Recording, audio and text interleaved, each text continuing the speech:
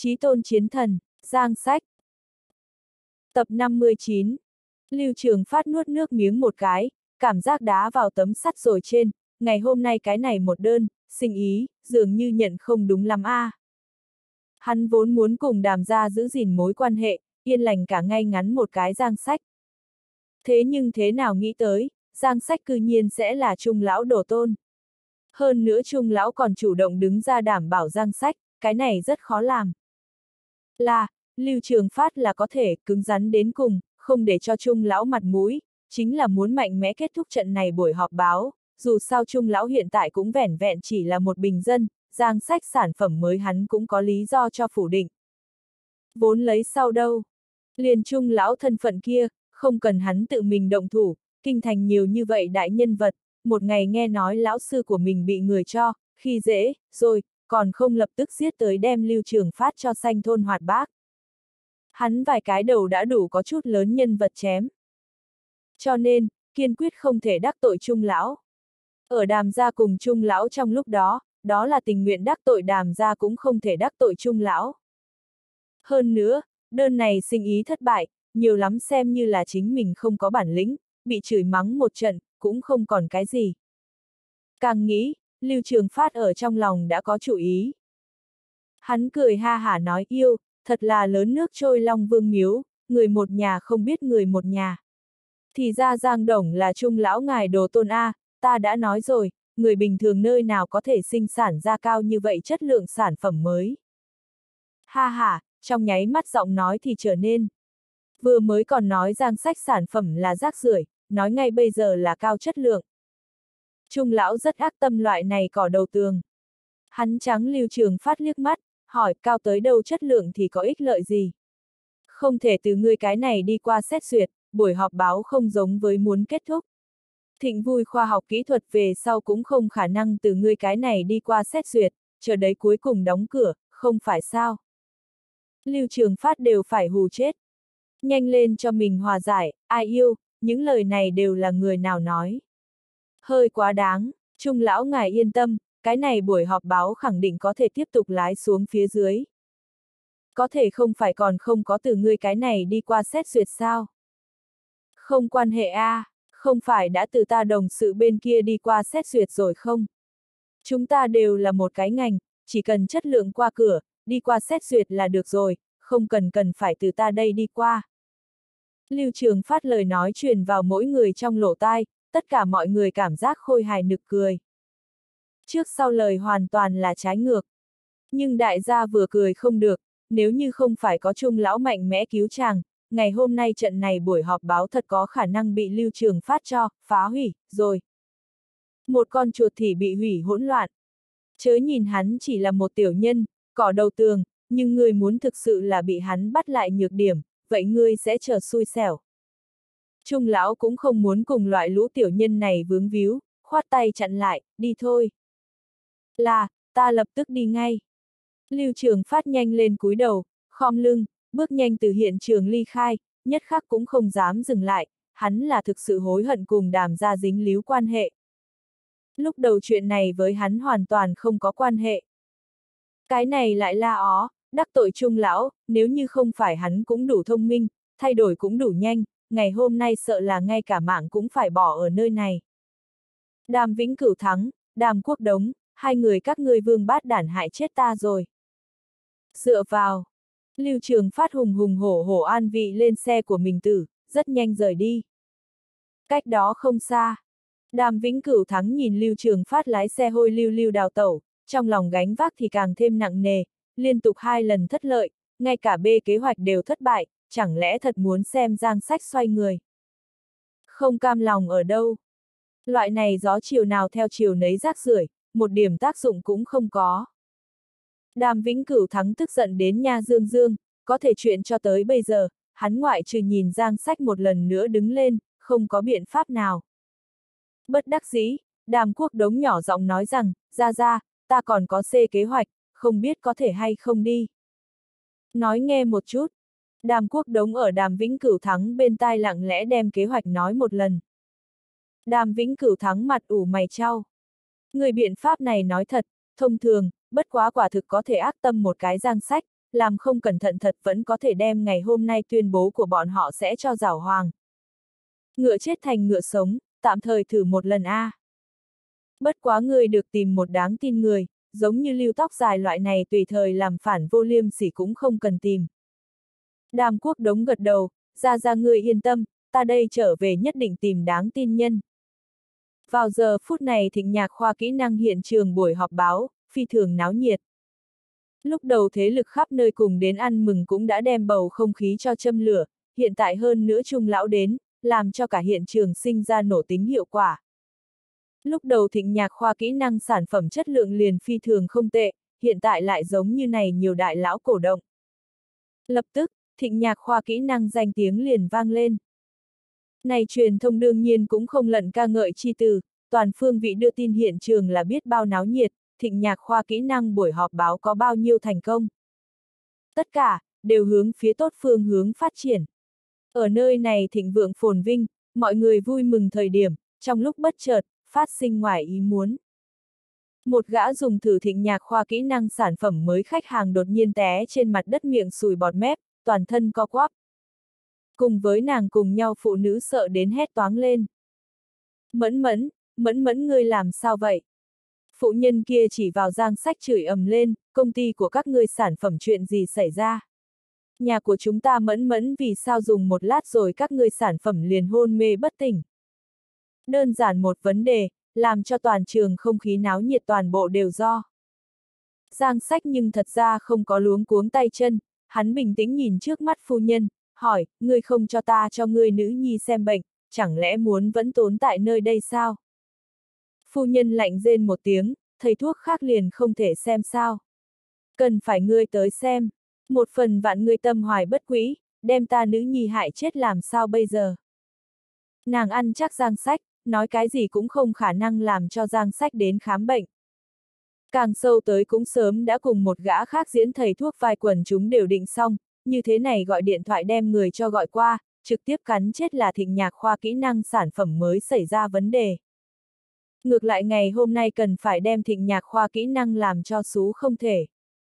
Cho nên nói, ninh đắc tội quân tử chớ đắc tội với tiểu nhân, có đôi khi loại này nhìn qua không quyền không thế tiểu nhân, chính là khiến người ta khó có thể chống đỡ. Đang ở giang sách khổ tư thượng sách thời điểm, một già một trẻ hai gã nam tử đi đến. Làm cho lão hủ đến xem bệnh như thế nào. Mọi người nhìn lại, nguyên lai là hồng hội hiệu thuốc lão bản cùng thiếu đông gia, Mạc Thanh Tùng cùng đừng nguyên. Mạc gia ở kinh thành giới y dược nhưng là có chút danh tiếng.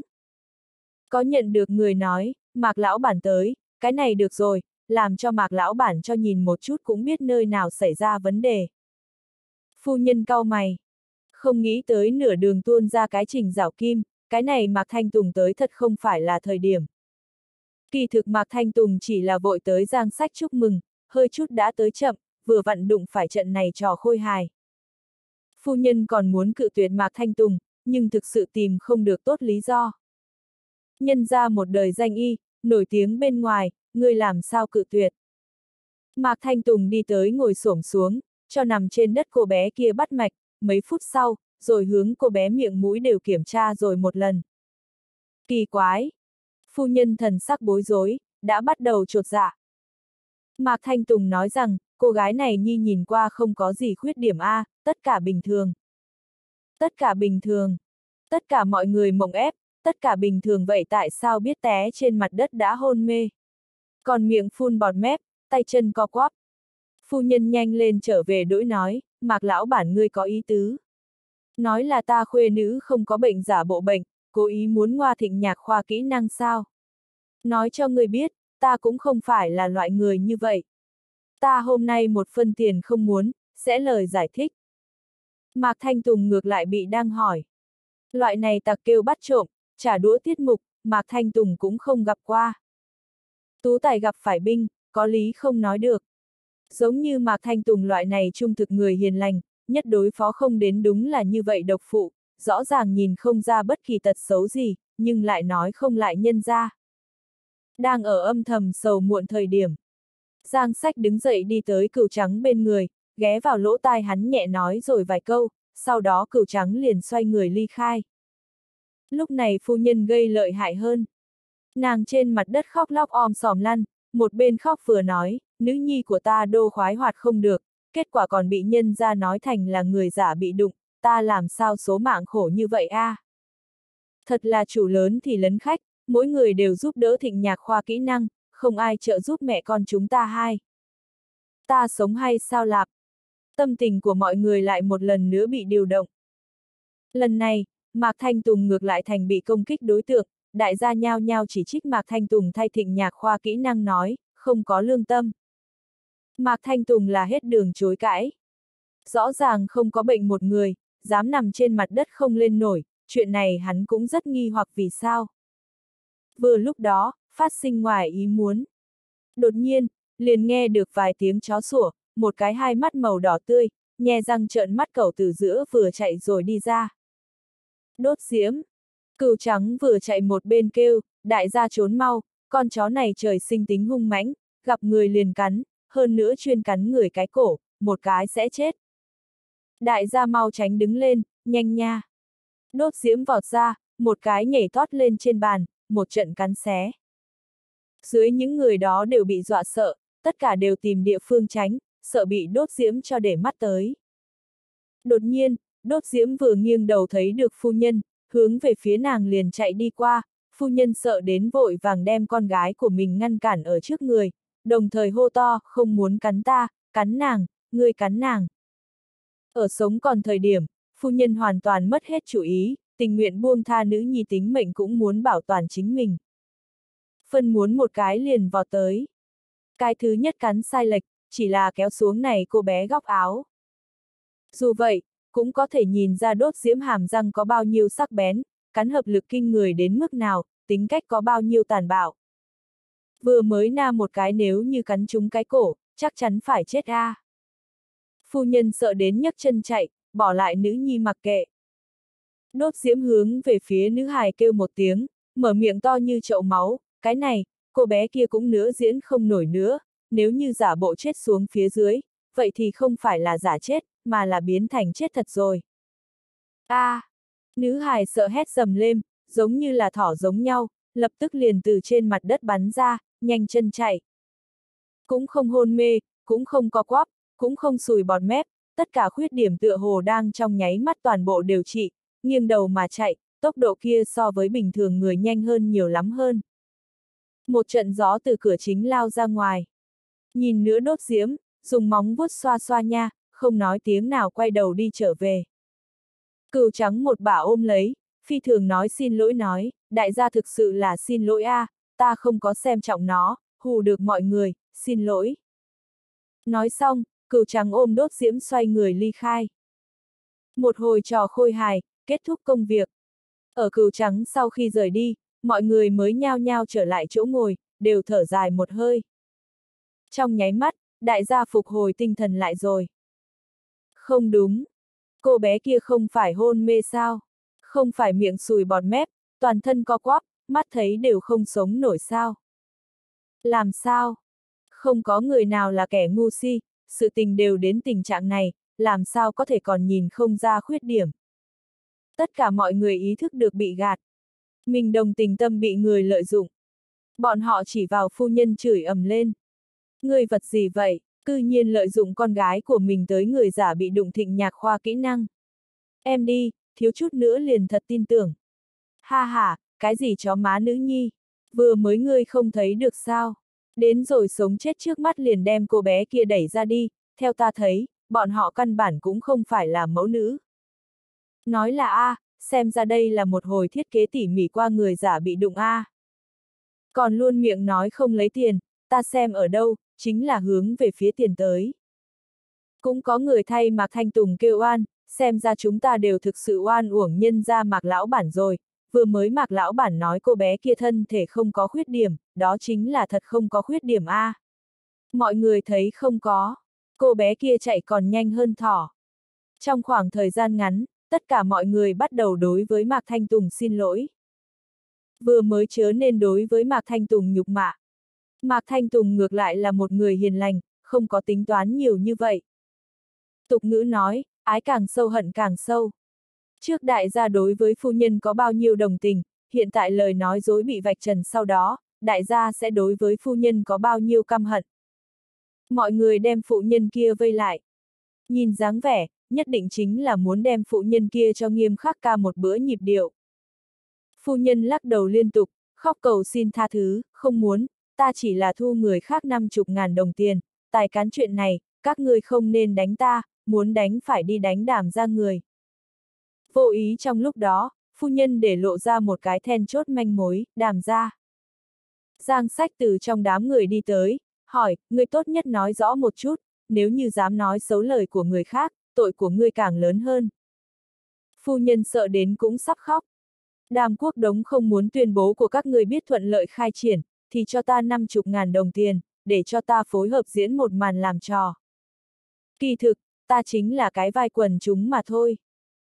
Vừa mới cô gái kia cũng là đàm quốc đống tìm đến, kỳ thực vốn là còn một cái sắm vai thầy thuốc, chỉ là mạc lão bản tới, cho làm rối loạn nhịp điệu. Thì ra còn có lớn như vậy dưa.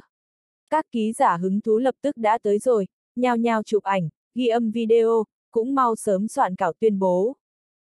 Ngày hôm nay thật đúng là có ý tứ A.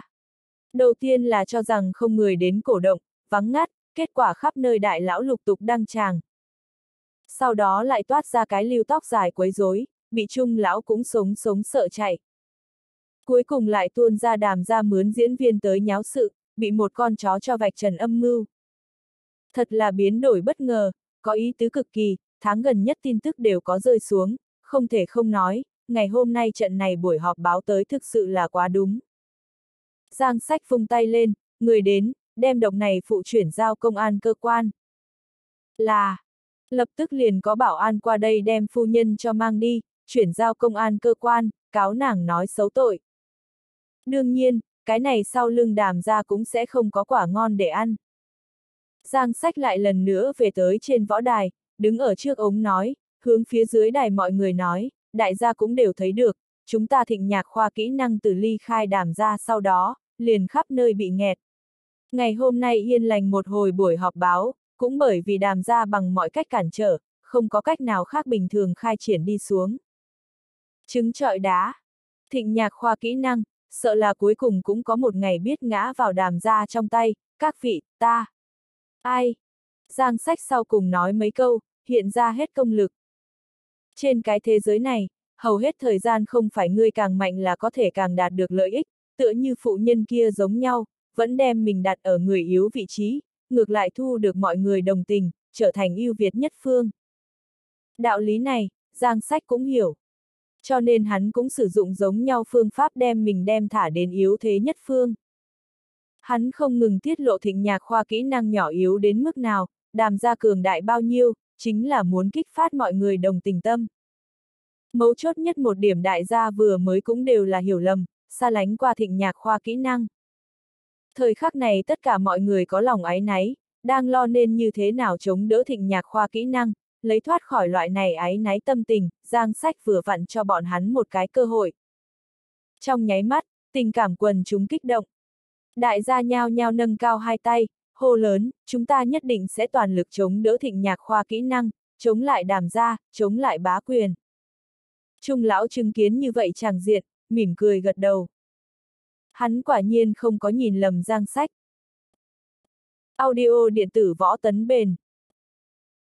Giang sách ngoại trừ sở hữu cực cao sức chiến đấu ở ngoài, địa phương mạnh nhất chính là ở chỗ đọc hiểu lòng người. Vốn là bất lợi cho hắn cục diện, dám dựa vào nói ba xạo liền đem thế cục cho hòa nhau tới, thắng rồi dân tâm, thành công kinh doanh.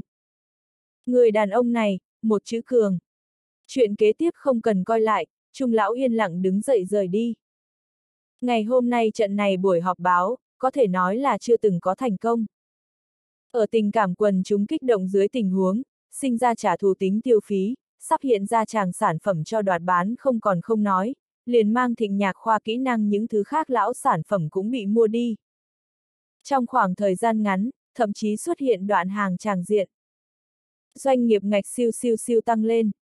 Cái này cũng chưa tính cái gì, mấu chốt nhất là thịnh nhạc khoa kỹ năng đi qua một trận chiến này, danh tiếng triệt để lên rồi, trở thành dân chúng trong mắt tốt công ty đại biểu. Phải không sợ cường quyền, cùng đàm gia này ác long chiến đấu dũng sĩ. Còn như đàm gia, thì trở thành người người kêu đánh rác rưởi, càng là phải đối mặt thịnh nhạc khoa kỹ năng luật sư hàm cảnh cáo, lên án bọn họ thuê làm diễn viên tới bêu xấu hành vi. Tin tức truyền thông càng là lửa cháy đổ thêm dầu, theo gió tạo thế. Trong khoảng thời gian ngắn, thịnh nhạc khoa kỹ năng buổi họp báo sự tình, gây toàn bộ kinh thành không người không biết không người không hiểu.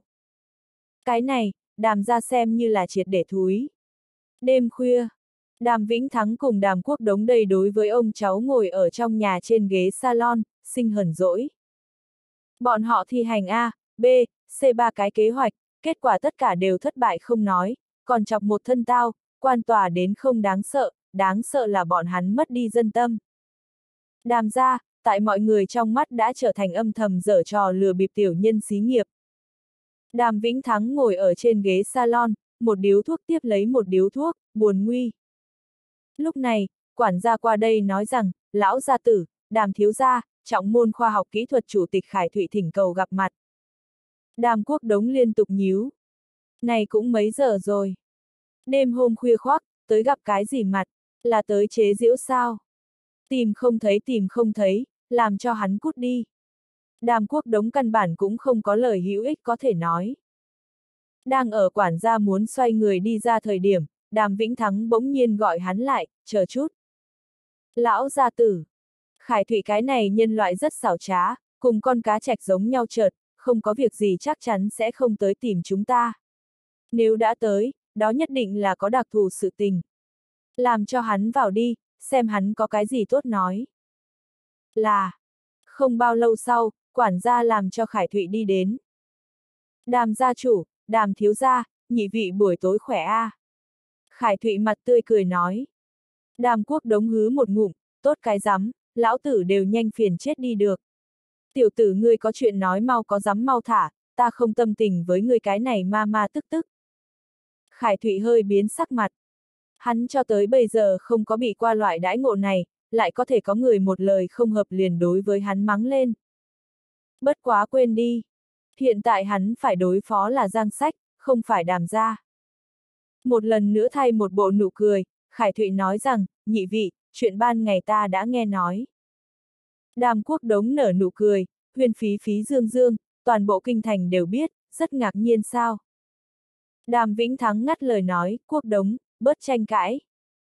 Khải Thụy cười cười, tiếp tục nói, kỳ thực, ta không dối gạt nhị vị, chúng ta trọng môn khoa học kỹ thuật cùng thịnh nhạc khoa kỹ năng có mâu thuẫn rất sâu.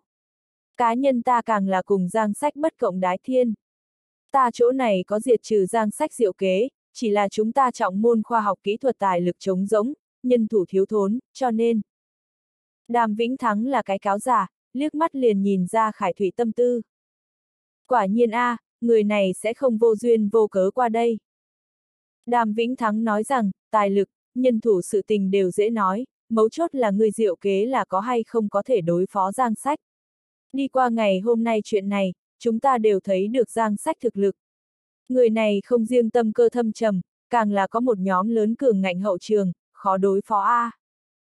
Khải Thụy vừa cười vừa nói, đàm gia chủ xin yên tâm, chỉ cần có ngài hết sức giúp đỡ, ta cam đoan, trong một tuần lễ, nhất định có thể hái giang sách mặt hàng cao cấp đầu. Lời nói lớn như vậy. Đàm Vĩnh Thắng cùng đàm quốc đống liếc nhìn nhau, mặc kệ Khải Thụy nói thật hay giả, nếu hắn dám nói thế với, vậy đáng giá thử một lần. Đêm khuya, đen nhánh bên trong phòng, to lớn cửa sổ thủy tinh trước. Lao kéo một người bưng ly rượu đỏ, không có mở đèn, tịch mịch đứng ở phía trước cửa sổ, nhìn trong bầu trời sáng trong ánh trăng. Nghĩa phụ, Rip, các ngươi ở trên trời qua có khỏe không? Ta, rất nhớ các ngươi. Mỗi khi trời tối người yên, nàng biết cảm thấy thương tâm tuyệt vọng. Đồng thời, vẻ này đối với giang sách thống hận tình, từ từ tràn ra. Nhấp một hớp rượu đỏ. Lao kéo lẩm bẩm, ngay cả đàm ra đều cầm giang sách không có cách nào sao. Lẽ nào, trên cái thế giới này thực sự không tồn tại chính nghĩa, giống như vậy cuồng đồ đó là có thể nhơn nhơn ngoài vòng pháp luật. Người tốt sống không lâu, vương bát sống vạn năm. Ha ha, ta không tin, ta không tin không có cách nào giết chết giang sách. Lao kéo đem còn thừa lại rượu đỏ uống một hơi cạn sạch. Lúc này, điện thoại di động của nàng vang lên. Là một cái có chút hết ý người đánh tới, người này là Triệu Rong. Từ trọng môn khoa học kỹ thuật thoát ly Triệu gia sau đó, lao kéo cùng Triệu gia quan hệ trở nên phi thường kém, Triệu gia hận không thể đem nàng cho rút gân lột ra, đàm ra đối với Giang Sách có bao nhiêu hận, Triệu gia liền đối với lao kéo có bao nhiêu hận, hai người tình cảm là giống nhau. Bất quá, cái này cũng không gây trở ngại lao kéo cùng Triệu Rong giữ cảm tình. Triệu Rong là một cái thiên chân vô tà nữ hài tử, cũng không có bởi vì gia tộc mâu thuẫn mà ghi hận lao kéo, tương phản, vẫn còn đều đem lao kéo trở thành là người thân cận nhất. Lao kéo cũng giống như nhau tâm tư. Có thể nói, trên cái thế giới này ngoại trừ khải thụy ở ngoài, triệu rong là duy nhất một cái có thể để cho lao kéo buông phòng bị người. Nàng tiếp thông điện thoại. Tiểu nha đầu, đã trễ thế này còn chưa ngủ. Bên đầu điện thoại kia truyền đến triệu rong có chút xấu hổ thanh âm, lao lạp tả, ta ngủ không được, có chuyện ta nghĩ muốn hướng ngươi thỉnh giáo. Chuyện gì có thể quấy nhiễu ở chúng ta triệu tiểu thư A? Lao lạp tả, ta nói ra không cho phép ngươi pha trò ta. Đương nhiên sẽ không. Do dự một chút, Triệu Dòng nói rằng, ngày mai, ta sẽ cùng Giang Sách ở cùng một chỗ. a à, Lao kéo lấy làm kinh hãi, cái này tình huống gì? Triệu Dòng giải thích, chính là mấy ngày hôm trước ta đã nói với ngươi, có người xấu luôn cho ta viết một ít kỳ kỳ quái quái thư tình, gửi cho ta một ít kỳ kỳ quái quái tín vật, còn nói phải cùng ta cùng nhau chịu chết các loại. Ba ta theo ta đại ca đều lo lắng an nguy của ta, vì vậy liền muốn tìm người bảo hộ ta. Cái này lao kéo hiểu, cho nên triệu gia chủ liền nhờ cậy giang sách bảo hộ ngươi. Ân, lao kéo không biết nên nói cái gì. Quả thực, làm cho giang sách bảo hộ triệu rong lời nói, na triệu rong sẽ vô cùng an toàn, lấy giang sách năng lực, nói vậy cũng có thể rất nhanh tra ra tên biến thái kia là ai. Mấu chốt nhất là, triệu rong thích giang sách. Có thể để cho triệu rong không ghét nam sinh cơ bản cũng không tồn tại, chớ đừng nói chi là thích. Cho nên giang sách là phi thường thích hợp bảo tiêu chọn người.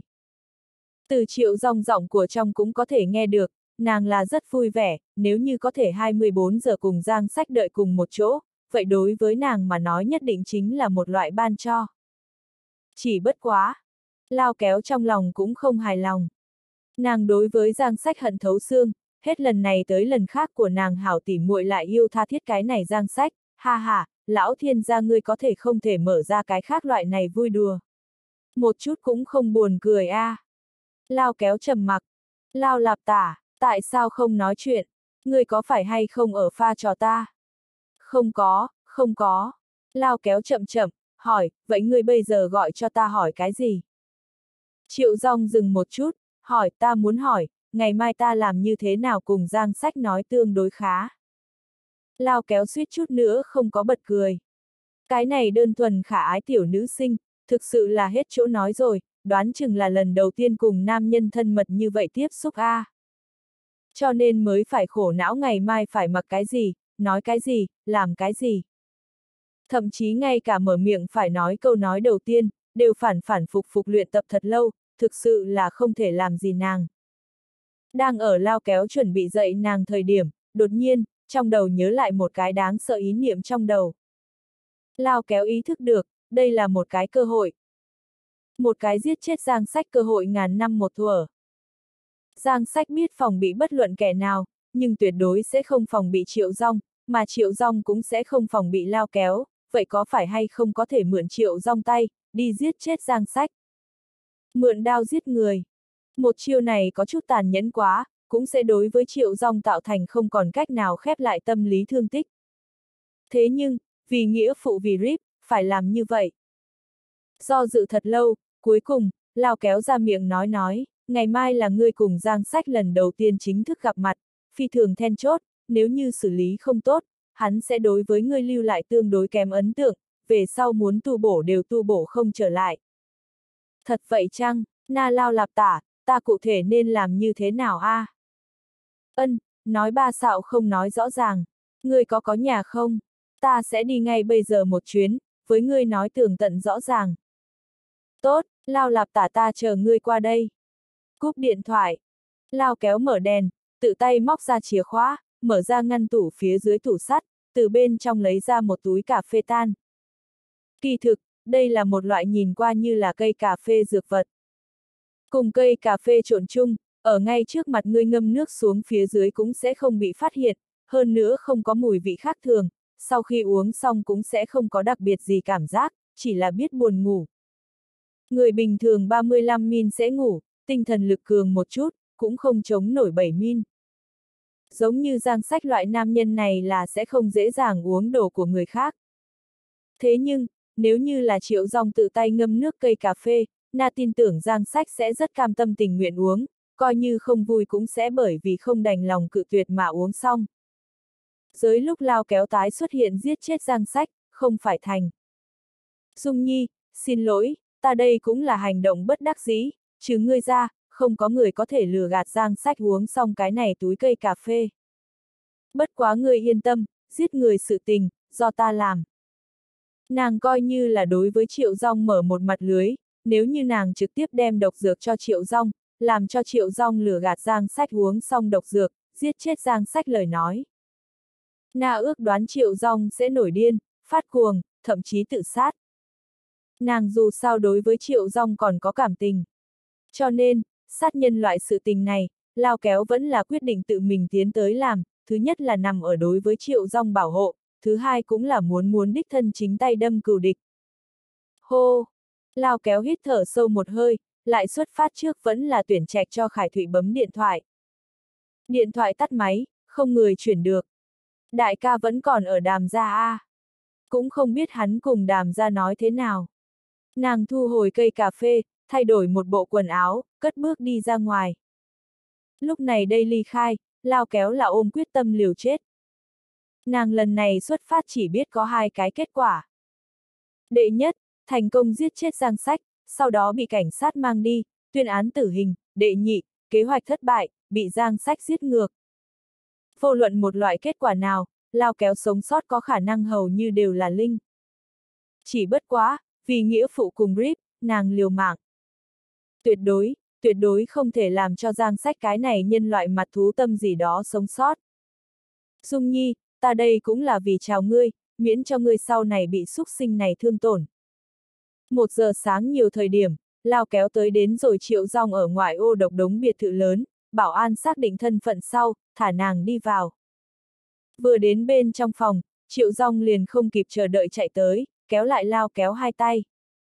Lao lạp tả, ta chờ ngươi đã lâu a hát.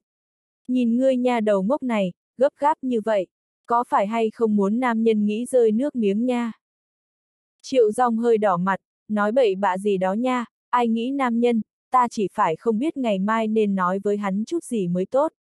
Lần đầu tiên chính thức gặp mặt, rất tốt hoạch định một chút, nếu không, sẽ có vẻ không lễ phép. Yêu, chúng ta triệu đại tiểu thư cũng sẽ biết không lễ phép. Người bình thường đối đãi nam nhân khác thời điểm, cũng đều là bầy xú mặt.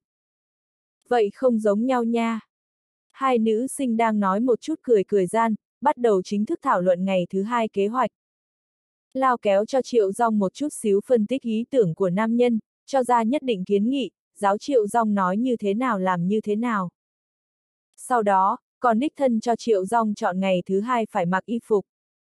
Cũng không có thể quá tùy tiện, sẽ có vẻ không có gia giáo, đối với người không để bụng, đương nhiên cũng không thể quá chính thức, như vậy sẽ có vẻ câu nệ, cũng vô pháp bày ra Triệu Dòng thanh xuân sức sống. Cứ như vậy mang hoạt sắp có 3 giờ, thiên đô sắp sáng. Cuối cùng lao kéo lấy ra na túi cây cà phê.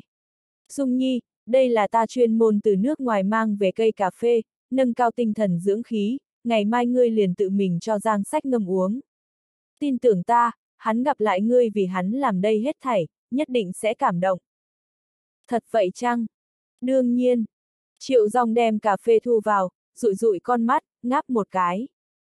Lao kéo nói rằng, thiên đô mau sáng rồi, ngươi nhanh lên ngủ một giấc, bổ sung một cái tinh thần, mặt được ngày mai các loại giang sách tới, người vô tinh đã thải tại ra ngủ ngon, đó mới không xong. Ta liền đi trước rồi, có tình huống lại nói. Đang ở lao kéo thân vừa muốn đi, triệu rong kéo nàng lại. Lao lạp tả, ta khẩn trương, ta lo lắng biết làm hỏng. Lao kéo thở dài, đi, vậy dạng này a, ta sẽ không đi, lưu lại với người cùng nhau đánh trận này trận đánh ác liệt. Các loại giang sách tới, ta đang ở lầu hai nhìn, nghe, người đi lầu một cùng giang sách chiếu kế hoạch tiến hành. Nếu như gặp phải phiền phức, tìm cái cớ lên lầu tới, ta lấy cho ngươi chủ ý. Triệu rong mặt mày dạng dỡ, như vậy không còn gì tốt hơn nhất rồi, cảm ơn ngươi, lao lạp tả. Khách khí với ta cái gì? Nhanh nghỉ ngơi đi. Ừ. Lập tức, hai người rửa mặt trải đầu qua đi, ngủ chung dưới. Sáng ngày thứ hai hơn 9 giờ thời điểm, Triệu Rong liền vội vã rời giường, một hồi bận việc. Đầu tiên là nhận nhận chân chân đem mình giặt sạch một lần, sau đó mặc vào tỉ mỉ chọn lựa y phục, lại bắt đầu nhận nhận chân chân hóa trang, một tia cũng không dám sơ suất. Lao kéo còn buồn ngủ đứng lên nói rằng, oa, Dung Nhi, người cũng quá khoa trương, có cần phải toàn thân đại thanh tẩy sao? Làm sao, người cũng không phải là muốn muốn hiến thân a. À. Triệu rong thẹn thùng cái cổ đều đỏ. Lao lạp tả, không cho phép ngươi nói mò. Bất quá. Nếu như Giang tiên sinh rất muốn lời nói, ta là có thể suy tính một chút. Lao kéo suýt chút nữa không có cười phun, Dung Nhi ngươi theo ta đùa gì thế? Ngươi với hắn đều cái gì không trả nổi giải khai, liền chuẩn bị hiến thân. Ngươi nha, thật là chưa từng thấy nam nhân, đối với nam nhân một điểm lòng phòng bị cũng không có a hát. Triệu rong chu mỏ một cái, không nói, yên lặng tiếp tục hóa trang. Một bên khác, Giang Sách đem thịnh vui khoa học kỹ thuật sự vụ lớn nhỏ cũng giao thay mặt cho thủ hạ chính là người, cũng dặn Mộc Dương một ít tâm ứng đối đảm ra, sau đó liền cùng cừu trắng cùng đi đến ngoài cửa, ngồi lên triệu gia phái tới chuyến đặc biệt. Phi thường ngoài ý muốn, lúc này đây lái xe tới nghênh tiếp lại là triệu hải nhân. Theo lý thuyết, hắn đối với Giang Sách phi thường chán ghét, căn bản không muốn thấy được Giang Sách mới đúng, hắn có thể tự mình đến đưa đón Giang Sách, thật là có chút ngoài dự đoán mọi người. Xe khởi động. Triệu Hải Nhân vừa lái xe một bên nhắc nhở, Giang Sách, ta có thể cảnh cáo ngươi a, à, ta chỉ là để cho ngươi bảo hộ muội muội ta, mà không có để cho ngươi cưa nàng. Nếu như ngươi đối với em gái ta muội dám có bất kỳ ý đồ không an phận, ta không tha cho ngươi. Cảm tình hắn chính là vì nói mấy câu nói đó mới tới. Triệu Hải Nhân thực sự rất sợ chính mình vậy đáng yêu đơn thuần muội muội bị Giang Sách cho lừa gạt đi. Nào ngờ, không đợi Giang Sách mở miệng, cừu trắng trước cười híp mắt nói rằng, chúng ta thống suốt bên này ngươi có thể yên tâm, không có bất luận cái gì càng tuyến hành vi, chỉ bất quá muội muội ngươi. Liền không nói được rồi. Ngươi nói cái gì, miệng sạch một chút. Triệu Hải Nhân tương đương sức sống. Bất quá sức sống thuộc về sức sống, ngẫm lại vẫn có đạo lý. Từ trước mắt tình huống đến xem, quả thực hình như là triệu dòng đối với giang sách một phía tình nguyện, 20 năm, triệu hải nhân từ trước tới nay chưa từng gặp qua muội muội của mình sẽ đối với một người nam nhân như vậy để bụng. Hắn sau khi thông qua nhìn kỹ kính nhìn thoáng qua giang sách, trong lòng không ngừng nói thầm, hàng này dung mạo rất đẹp trai không? Bình thường thôi a, à, còn không có ta dễ nhìn, ta na ngốc muội tử sao lại thế thích hắn? Thực sự là say. Đang ở triệu hải nhân thì thầm thời điểm, Giang Sách nhìn như mạn bất kinh tâm nói rằng, ngươi có thể yên tâm, ta đã kết hôn rồi, thê tử ta cũng mang thai tại gia, ta là không có khả năng với ngươi muội muội có kết quả gì. A, à, triệu hải nhân ngây ngẩn cả người. Đã khi kết hôn, đồng thời đều nhanh có con nít rồi. Vậy ngươi ti em còn ra tới lãng cái gì? Giang sách tiếp tục nói, ngươi thực sự không yên lòng nói, ta như thế này nhìn thấy lệnh muội, liền đem tình huống của ta nói cho nàng biết. Đừng! Triệu Hải nhân hách liễu nhất đại khiêu, loại sự tình này làm sao có thể nói. Cừu trắng ở một bên hỏi, uy, tại sao lại không thể nói rồi?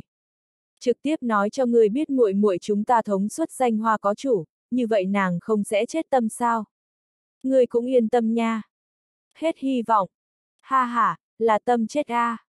Triệu dòng nhà đầu kia quá đơn thuần, 20 năm mới thật không dễ dàng đối với một người nam nhân động tình. Nếu như nàng biết Giang Sách khi kết hôn, vậy không được thương tâm chết. Không được, không thể nói, chỉ ít hiện tại không thể nói. Triệu Hải Nhân cũng không muốn chứng kiến muội muội mình mỗi ngày tại gia khóc ròng ròng, sầu não uất ức, nhất định phải tìm một cơ hội thích hợp mới có thể nói. Bây giờ còn là trước bảo mật cho thỏa đáng. Xe chạy đến trước biệt thự, bảo an đi tới kiểm tra tình huống. Triệu Hải Nhân quay kiếng xe xuống lộ ra khuôn mặt, bảo an lập tức cúi chào, phó đồng tốt. Ân, muội muội ta đang ở nhà sao? Ở. Triệu Hải Nhân đạp cần ga một cái, trực tiếp chạy đến trong sân, dừng xe lại. Ba người trước sau xuống xe đi vào trong. Quản gia mở cửa đem ba người nghênh đón đi vào, mới vừa tiến vào phòng khách, đã nghe đến một cỗ mùi thơm ngát mùi vị, cả nhà dọn dẹp sạch sẽ, mặt đất lau không nhiễm một hạt bụi, giống như là đi tới như tiên cảnh. Triệu Hải Nhân trong lòng chua chát, ta mỗi lần tới thời điểm tại sao không có cái này đãi ngộ. Dựa vào, quả nhiên thân tình không sánh bằng ái tình A, nhà đầu ngốc này là thật đối với Giang Sách động tâm. Dung Nhi, Giang Sách tới, ngươi nên rời giường. Triệu Hải Nhân hô một tiếng. Tiếp lấy, liền nghe được liên tiếp tiếng bước chân của. Ánh mắt của mọi người hướng phía tiếng bước chân truyền tới phương hướng nhìn lại. Chỉ thấy một gã ăn mặc phấn chơi gian váy công chúa, đạp thủy tinh giày cao gót, bọc màu trắng tinh tất chân, ngực còn ghim một con nơ con bướm khả ái nữ sinh từ cửa thang lầu đi ra. Hôm nay triệu rong, giống như là trong cổ tích đi ra công chúa Bạch Tuyết. Da thịt trắng nõn, khuôn mặt dáng đẹp. Một đôi thủy uông uông mắt to vụt sáng vụt sáng, giống như là trong trời đêm lóe lên sao, phấn hồng đôi môi mềm mại, như là bị đào hoa cánh hoa hôn thông thường. Khả ái, hoạt bát, đẹp đẽ, thanh xuân. Quả thực sẽ không như là 3D thế giới nhân nhi, mà như là lần thứ hai nguyên thế giới đi ra béo mập giai nhân. Chọc người chú mục. Cái này. Triệu Hải Nhân trong lòng càng chua, hắn từ trước tới nay chưa từng gặp qua muội muội của mình như vậy tỉ mỉ trang phục qua, y phục, đồ trang sức, trang điểm da mặt đều là đặc biệt thiết kế qua. Nhìn dáng vẻ, không có hai giờ căn bản là làm không cẩn thận. Đều nói nữ nhi duyệt mình giả dung. Chỉ là đi qua phen này trang phục, là có thể nhìn ra triệu rong đối với giang sách có vài phần động tâm. Khái khái, Dung Nhi, hôm nay ngươi ăn mặc thật đúng là xinh đẹp a. À. Triệu Hải Nhân lúc nói lời này, giọng nói chua chát, hiển nhiên là bình giấm chua đổ. Kết quả triệu rong chỉ là hơi chút xấu hổ hạ thấp đầu, lại khẽ nâng lên mí mắt, lặng lẽ nhìn về phía giang sách. Nàng đang nhìn giang sách có phải hay không đang nhìn nàng? Nhìn ta sao? Nhìn sao? Đang nhìn. Triệu rong thấy rõ ràng giang sách ánh mắt dừng lại ở trên người mình, trong nháy mắt liền manh mối triển khai, vui mừng không ngớt. Giống như là nở rộ nụ hoa nhi. Khả ái mê người. Cảnh tượng như vậy dừng lại 4 năm giây, triệu hải nhân thật sự là chua răng đều muốn rớt, nhanh lên đổi chủ để nói rằng, được rồi được rồi, các người đều chớ ngẩn ra đó, mau ngồi xuống nói một chút chính sự. Vì vậy tất cả mọi người vây quanh bàn trà ngồi ở trên ghế salon. Giữa lúc Triệu Dòng chuẩn bị dựa theo lao kéo giao cho của nàng những lời này đi lúc nói, phát sinh ngoài ý muốn. Quản gia vội vã đi tới nói rằng, không xong, lại có một phong thơ đưa tới. Ân. Triệu Dòng tốt tâm tình lập tức đã bị phá hủy. Nàng còn nghĩ muốn cùng Giang Sách nói một chút tình huống, điều tiết một cái bầu không khí, kết quả thật vừa đúng lúc, cái kia chết tiệt biến thái lại gửi tới thư tín. Ghê tởm, ghê tởm. Giang sách đứng lên tiếp nhận thư tín, mở ra đặt ở trên bàn trà. Ánh mắt mọi người đều tập trung ở thư tín trên, hiện trường bầu không khí lập tức trở nên khẩn trương nghiêm túc, dù sao giang sách, cửu trắng, triệu hải nhân đều lo lắng triệu dòng nhân thân an toàn. Chỉ có triệu dòng biểu môi, nội tâm xanh muộn khí. Kể từ đó kế hoạch xem như là toàn bộ đều phao thang, đêm qua chuẩn bị lâu như vậy nói, chỉ sợ cũng không có cơ hội nói cửa ra. Dù sao hiện tại cái tràng diện này, người lại đi kể một ít ngứa ngáy nói, vậy quá lỗi thời rồi. Sợ chẳng những sẽ không khiến cho Giang Sách vui mừng, ngược lại sẽ làm cho Giang Sách cảm thấy chán ghét a. À. Ai? Triệu Dung thở dài, mạnh mẽ lên tinh thần, mặt mỉm cười hỏi, Giang Thiên Sinh, trong thơ viết những gì nha? Đây là ngày hôm nay Triệu Dòng đối với Giang Sách nói câu nói đầu tiên. Cùng với nàng ngay từ đầu dự bị nói, tranh lệch cách xa vạn dặm. Chỉ thấy Giang Sách khẽ lắc đầu, đem thư món cầm lên đưa cho Triệu Dòng, giọng nói trong trẻo lạnh lùng nói rằng, na biến thái đã tổ hỏa nhập ma, gần nhất sẽ đối với Triệu Tiểu Thư ngươi hạ thủ, trong khoảng thời gian này cũng xin cần phải chú ý an toàn. Triệu Dòng hách liễu nhất đại khiêu, sự tình đã nghiêm trọng đến tình trạng này rồi không? Nàng vội vàng đem thư tín nhận lấy xem, chỉ thấy mặt trên viết một câu nói này, thân ái Dung Nhi, ta đối với người yêu đã sâu tận xương tủy, ta đem cùng ngươi hòa làm một thể, ở thiêu hủy trong ngọn lửa. Mới từ thư tín lên đến xem, chính là muốn cùng Triệu Rong cùng nhau bị đốt chết y tứ. Điều này nói rõ nên kẻ bắt cóc đã sắp nếu không khống chế được, chỉ cần vừa có cơ hội thích hợp, sẽ đối với Triệu Rong động thủ. Sự tình trở nên càng ngày càng nguy hiểm. Lúc này Triệu Rong rốt cục ý thức được nguy hiểm phủ xuống, thần sắc hốt hoảng nhìn những người khác, giống như một con bị kinh sợ chim nhỏ, yếu ớt hỏi, na, vậy bây giờ ta nên làm cái gì bây giờ? Giang sách bình tĩnh nói, nơi nào cũng không muốn đi, liền đợi ở nhà, mãi cho đến kẻ bắt cóc bị bắt mới thôi. Đây chẳng phải là thành tù phạm sao? Làm tù phạm dù sao cũng hơn bỏ mạng cường. Nếu như là người khác nói nói như vậy, Triệu Dòng nhất định sẽ tức giận phất tay áo rời đi, nhưng nói lời này là giang sách, na Triệu Dòng liền một câu phản bác cũng không có, ngược lại như là chịu đến khiển trách hài tử, biểu môi ngoan ngoãn ngồi. Triệu Hải Nhân bội phục trong lòng, có thể làm cho mình muội muội không nói câu nào ngoan ngoãn ngồi, phần này bản lĩnh cũng chỉ có giang sách mới có, ngay cả hắn cùng cha đều làm không được. Bất quá, Triệu Dòng nóng nảy nói rằng, những chuyện khác ta đều có thể mặc kệ, chỉ có một việc không được.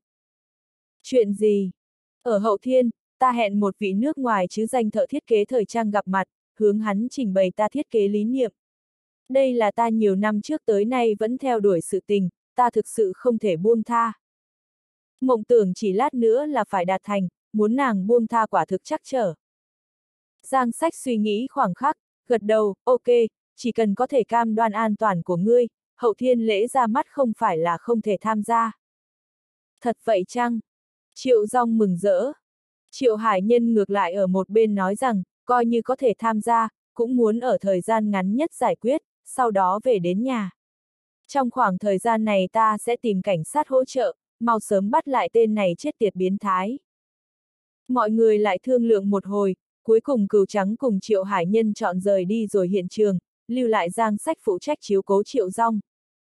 Căn cứ Triệu Chí Lai yêu cầu, kế tiếp một đoạn thời gian, giang sách cần mỗi ngày 24 giờ thủ hộ ở Triệu Rong bên người.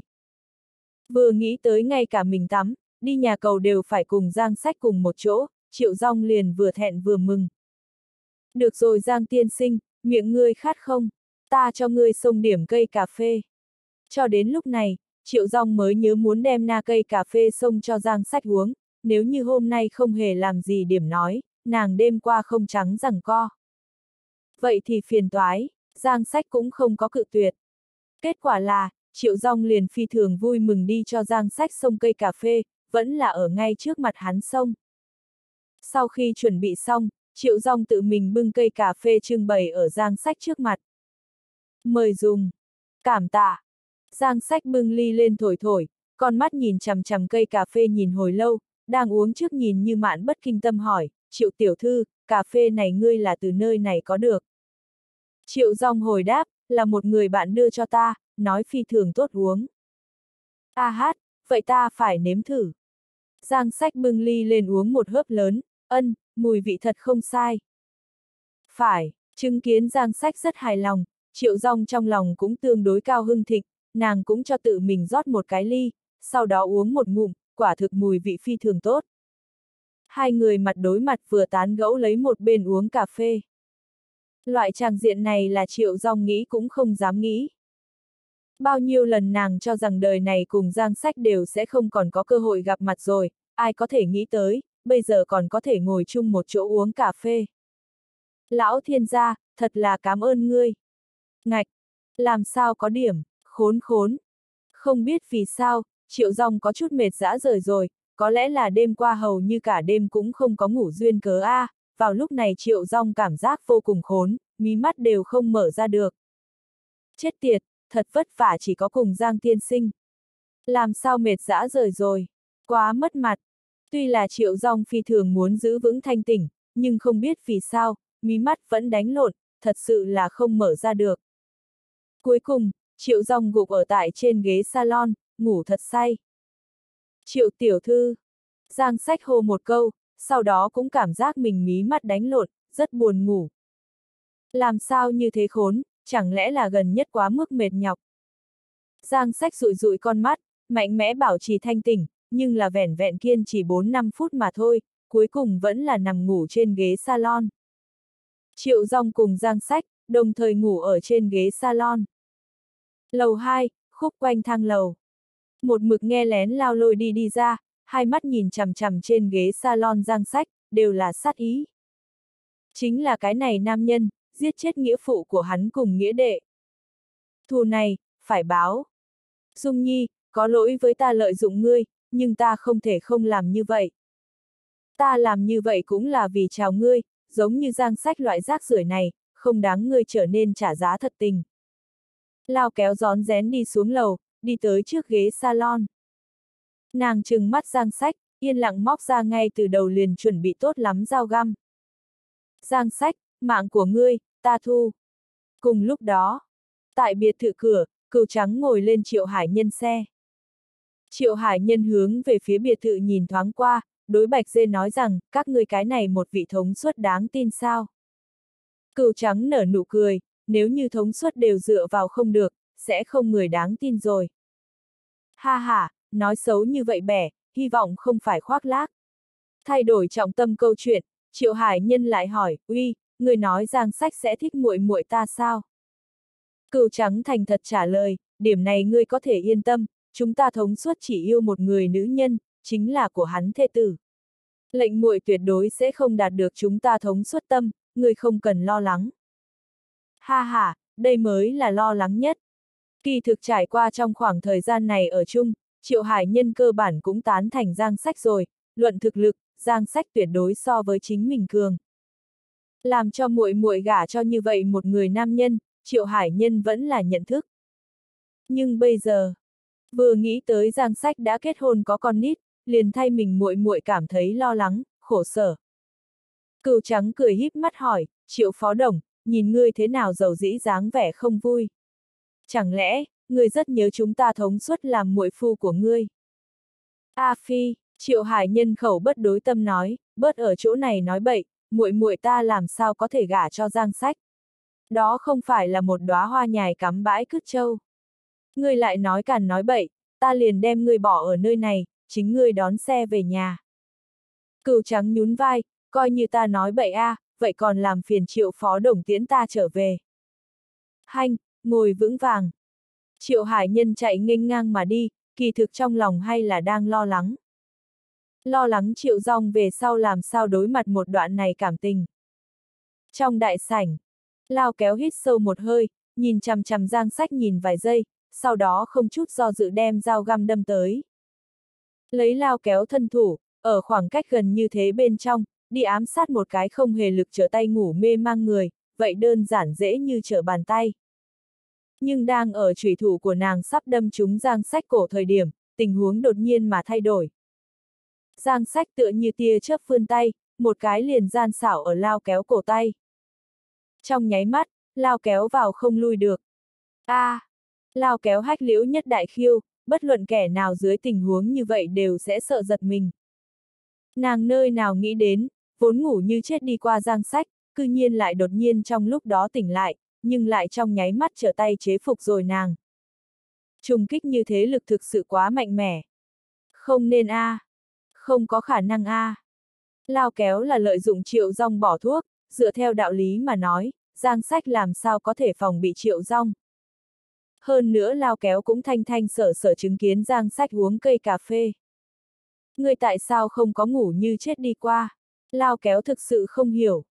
Giang sách nhẹ nhàng cười, nói rằng, muốn thực sự ngủ như chết đi qua mới là kỳ quái a. À.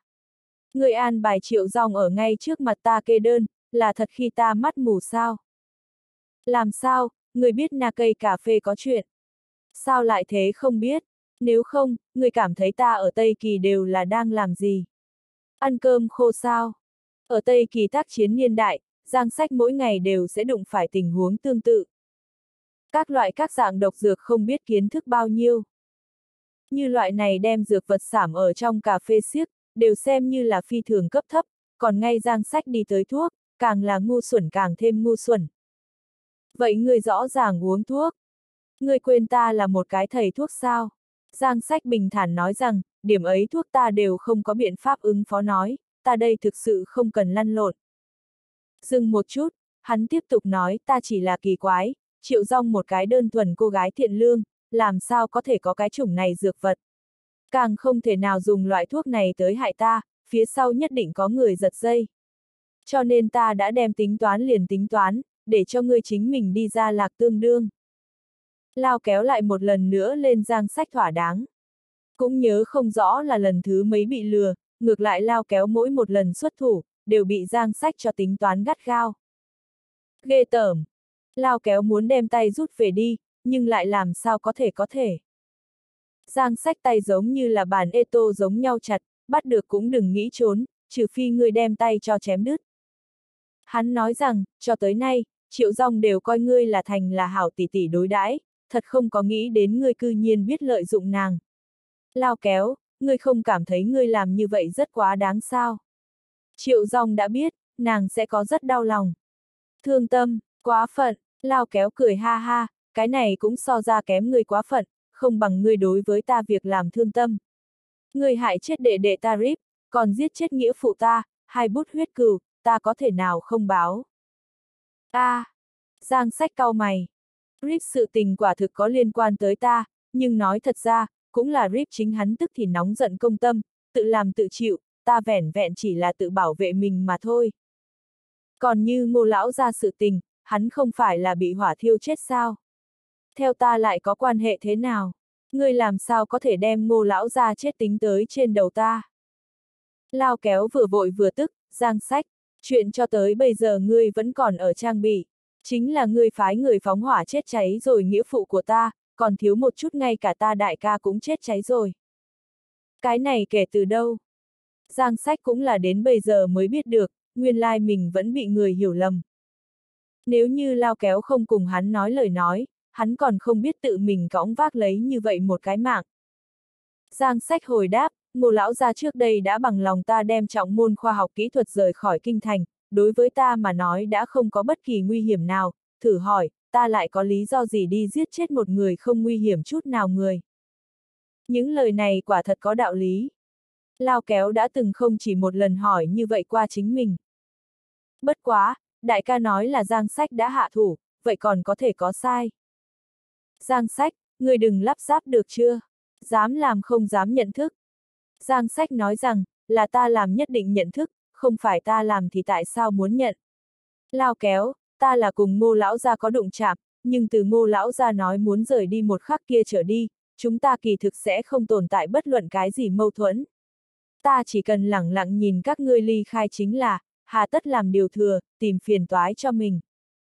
Hơn nữa, lao kéo, người có hướng cảnh sát hỏi thăm qua nghĩa phụ của ngươi đích thực thật tử vong tình huống sao? Ngươi xác định thì nhất định là chết ở trên tay ta. Chứng cớ đâu? Cái này. Lao kéo trong chốc lát nghẹn lời. Nàng cũng chỉ là tin vào Khải Thụy lời nói của một bên, nói thật ra, nàng căn bản là còn không có cẩn thận tháo qua ngô lão ra tử vong tình trạng. Cho tới nay, đều là đại ca Khải Thụy cùng cảnh sát tiếp xúc.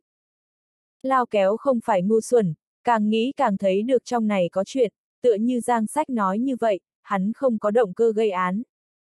Giang Sách buông tay ra, từ tốn nói, cho nên ta khuyên ngươi đem sự tình điều tra rõ ràng động thủ lần nữa cũng không trễ, ngươi dễ tìm nhất cảnh sát hỏi một chút, đến cùng nghĩa phụ của ngươi tử vong tình huống là dạng gì. Nếu như ngươi không có đường dây, ta ngược lại thật ra nhận thức vài cái cảnh sát, có thể sai người giúp ngươi hỏi một chút. Như thế nào? Ha ha, không cần, ta sẽ không tin tưởng ngươi chuyện ma quỷ. Lao kéo thu hồi dao găm, giang sách, trước hết lưu ngươi vài ngày mạng chó, chờ ta tra rõ nghĩa phụ nguyên nhân cái chết sau đó, lại tới tìm ngươi tính sổ. Giang sách nở nụ cười, chỉ sợ đến lúc đó ngươi cũng sẽ không tìm ta tính sổ, bởi vì ngô lão ra chết, theo ta quả thực không hề có một chút quan hệ a. À. Có quan hệ hay không, quay đầu ta điều tra qua sẽ biết. Lao kéo xoay người rời đi. Lại đi tới cửa thời điểm, nàng quay đầu nhìn thoáng qua ngủ say triệu rong. Chuyện này ngươi không muốn cùng Dung Nhi nói. Giang sách gật đầu, yên tâm, ngươi không nói ta cũng biết làm như thế nào. Hiện tại nàng bị biến thái theo dõi, vốn là tâm tình không tốt, nếu như lại để cho nàng biết hảo tỷ tỷ lợi dụng nàng mượn đao giết người lời nói, na triệu rong sợ là sẽ phải thương tâm chết. Lao kéo giữa hai lông mày lộ ra một tia hổ thẹn.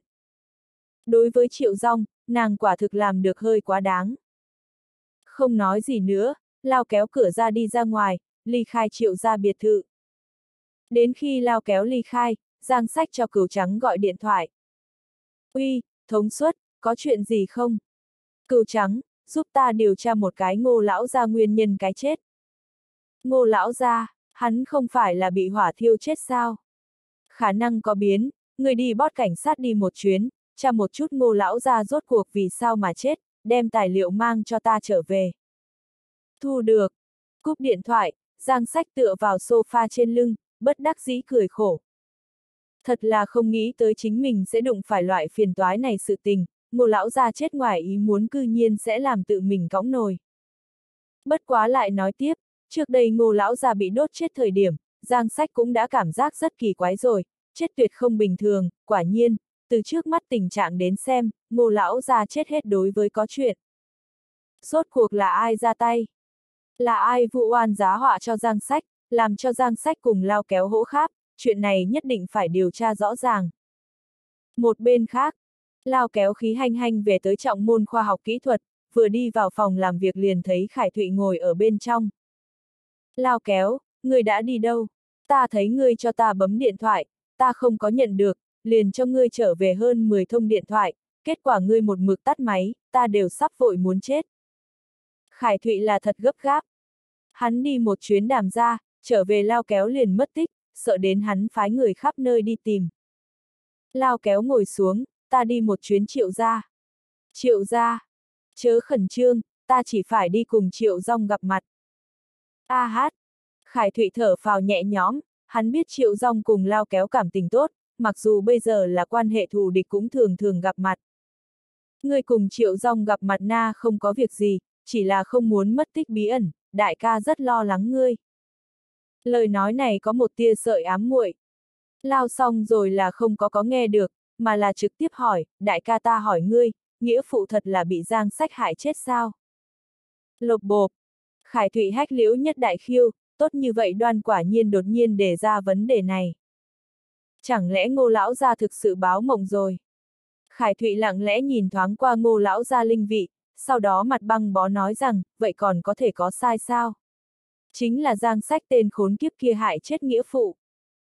Nhưng là, lao kéo không giải thích được nói, nghĩa phụ đã bằng lòng phải ly khai kinh thành, chúng ta cùng giang sách có thể nói không còn có bất luận cái gì mâu thuẫn, hắn chỉ cần lẳng lặng chờ chúng ta ly khai là được, hà tất làm điều thừa, tăng thêm phiền não. Khải Thụy nhíu mày lại. Không thích hợp. Lao kéo đi một cái chuyến triệu ra, làm sao lại giống như biến thành người khác. Nàng gặp được người nào, lại nghe cái gì? Khải Thụy nói rằng, lao kéo, người làm sao có thể dùng bình thường tư duy đi suy nghĩ giang sách tên biến thái kia người mang tội giết người đâu. Hắn đã sớm xem chúng ta khó chịu, muốn một lưới bắt hết. Mặc dù chúng ta bằng lòng ly khai, hắn cũng không chịu cho chúng ta đường sống. Giang sách chính là chỗ này trùng không làm nhân sự vương bát đản, người không thể dùng bình thường tư duy đi suy tính. Phải. Lao kéo hé mắt, từ nàng cùng Giang sách tiếp xúc tới nay, cũng không cảm thấy như vậy. Ở Lao kéo xem ra.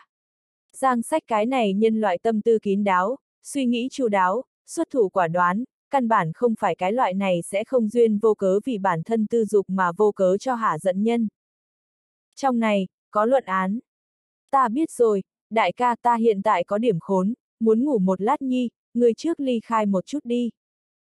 Ngạch, tốt. Khải Thụy cảm giác nhạy cảm đến lao kéo trong lòng có chuyện, nhưng là vừa không có phương tiện nói. Hắn yên lặng đứng dậy rời đi.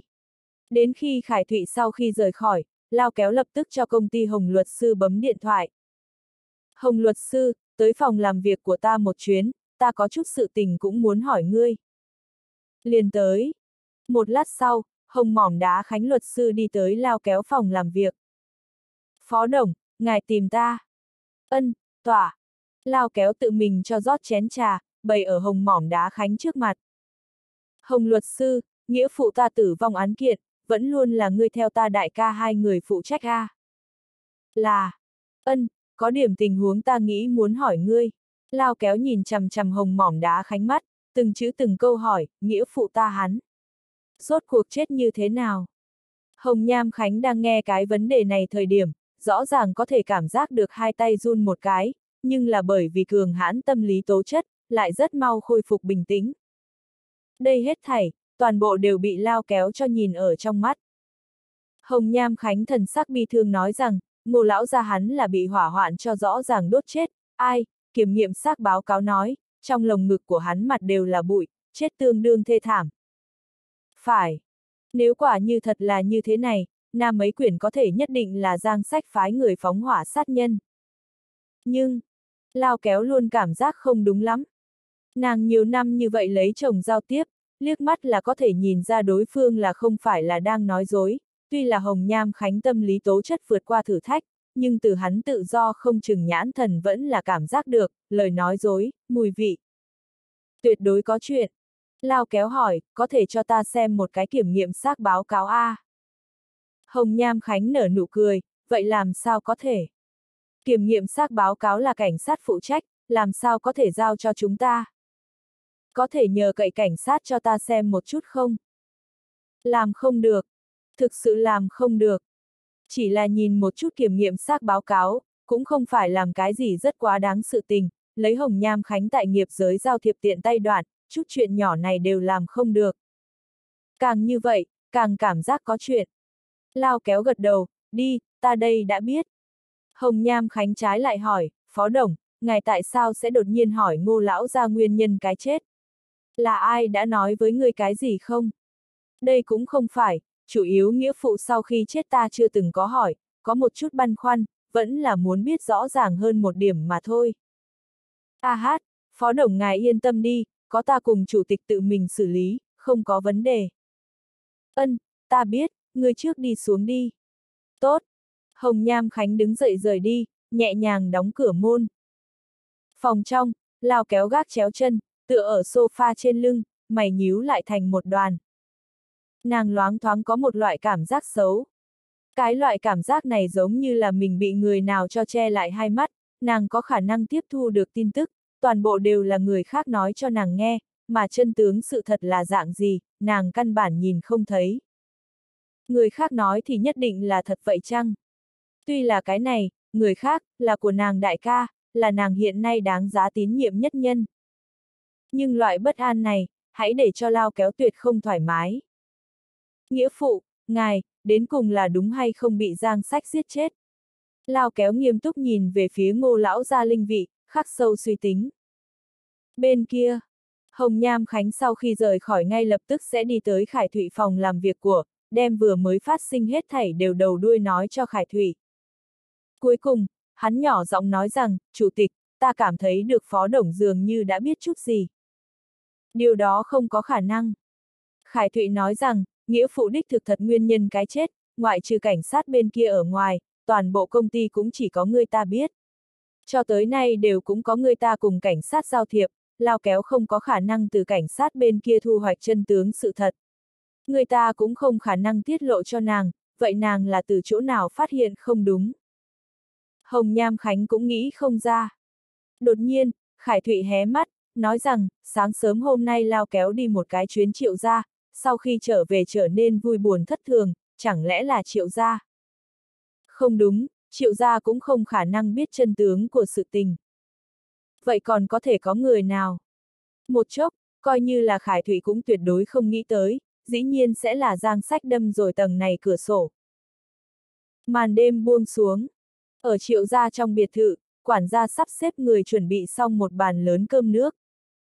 Giang sách nhìn tràn đầy một bàn lớn đồ ăn, cười hỏi, hai người, ăn một bàn đồ ăn. Triệu rong thẻ lưỡi, bởi vì Giang tiên sinh ngươi là quý khách nha, đương nhiên phải thật tốt chiêu đãi. Giang sách cười khổ lắc đầu. Hắn một bên kiểm tra tất cả đồ ăn có phải hay không có chuyện, vừa nói, nếu như là vì chiêu đãi ta lời nói, về sau không cần chuẩn bị nhiều như vậy, bởi vì ta lượng cơm ăn không có lớn như vậy. Toàn bộ kiểm tra xong. Cơm nước không có vấn đề, có thể ăn. Ân. Lần đầu tiên, Triệu Dòng cùng Giang Sách mặt đối mặt ngồi ở cái bàn lưỡng đoan, cùng nhau ăn cơm. Hai người cũng không có cái gì cộng đồng trọng tâm câu chuyện, bầu không khí thật là có một chút xấu hổ. Sau khi ăn xong, Triệu Dòng trở về phòng nghỉ ngơi, Giang Sách tự nhiên cũng đi theo, Triệu Dòng nằm ở trên giường, Giang Sách an vị ở trên ghế salon, hai người một câu nói cũng không có. Triệu Dòng trong lòng bất ổn, luôn muốn tìm trọng tâm câu chuyện, nhưng lại cảm thấy đột ngột. Cuối cùng, nàng cảm thấy cứ như vậy lẳng lặng đợi cùng một chỗ cũng rất tốt. Đêm, từ từ đen. Thời gian này điểm, là Triệu Rong tắm lúc ngủ, đổi thành dĩ vãng nói, chính cô ta phải đi giặt sạch, thế nhưng ngày hôm nay.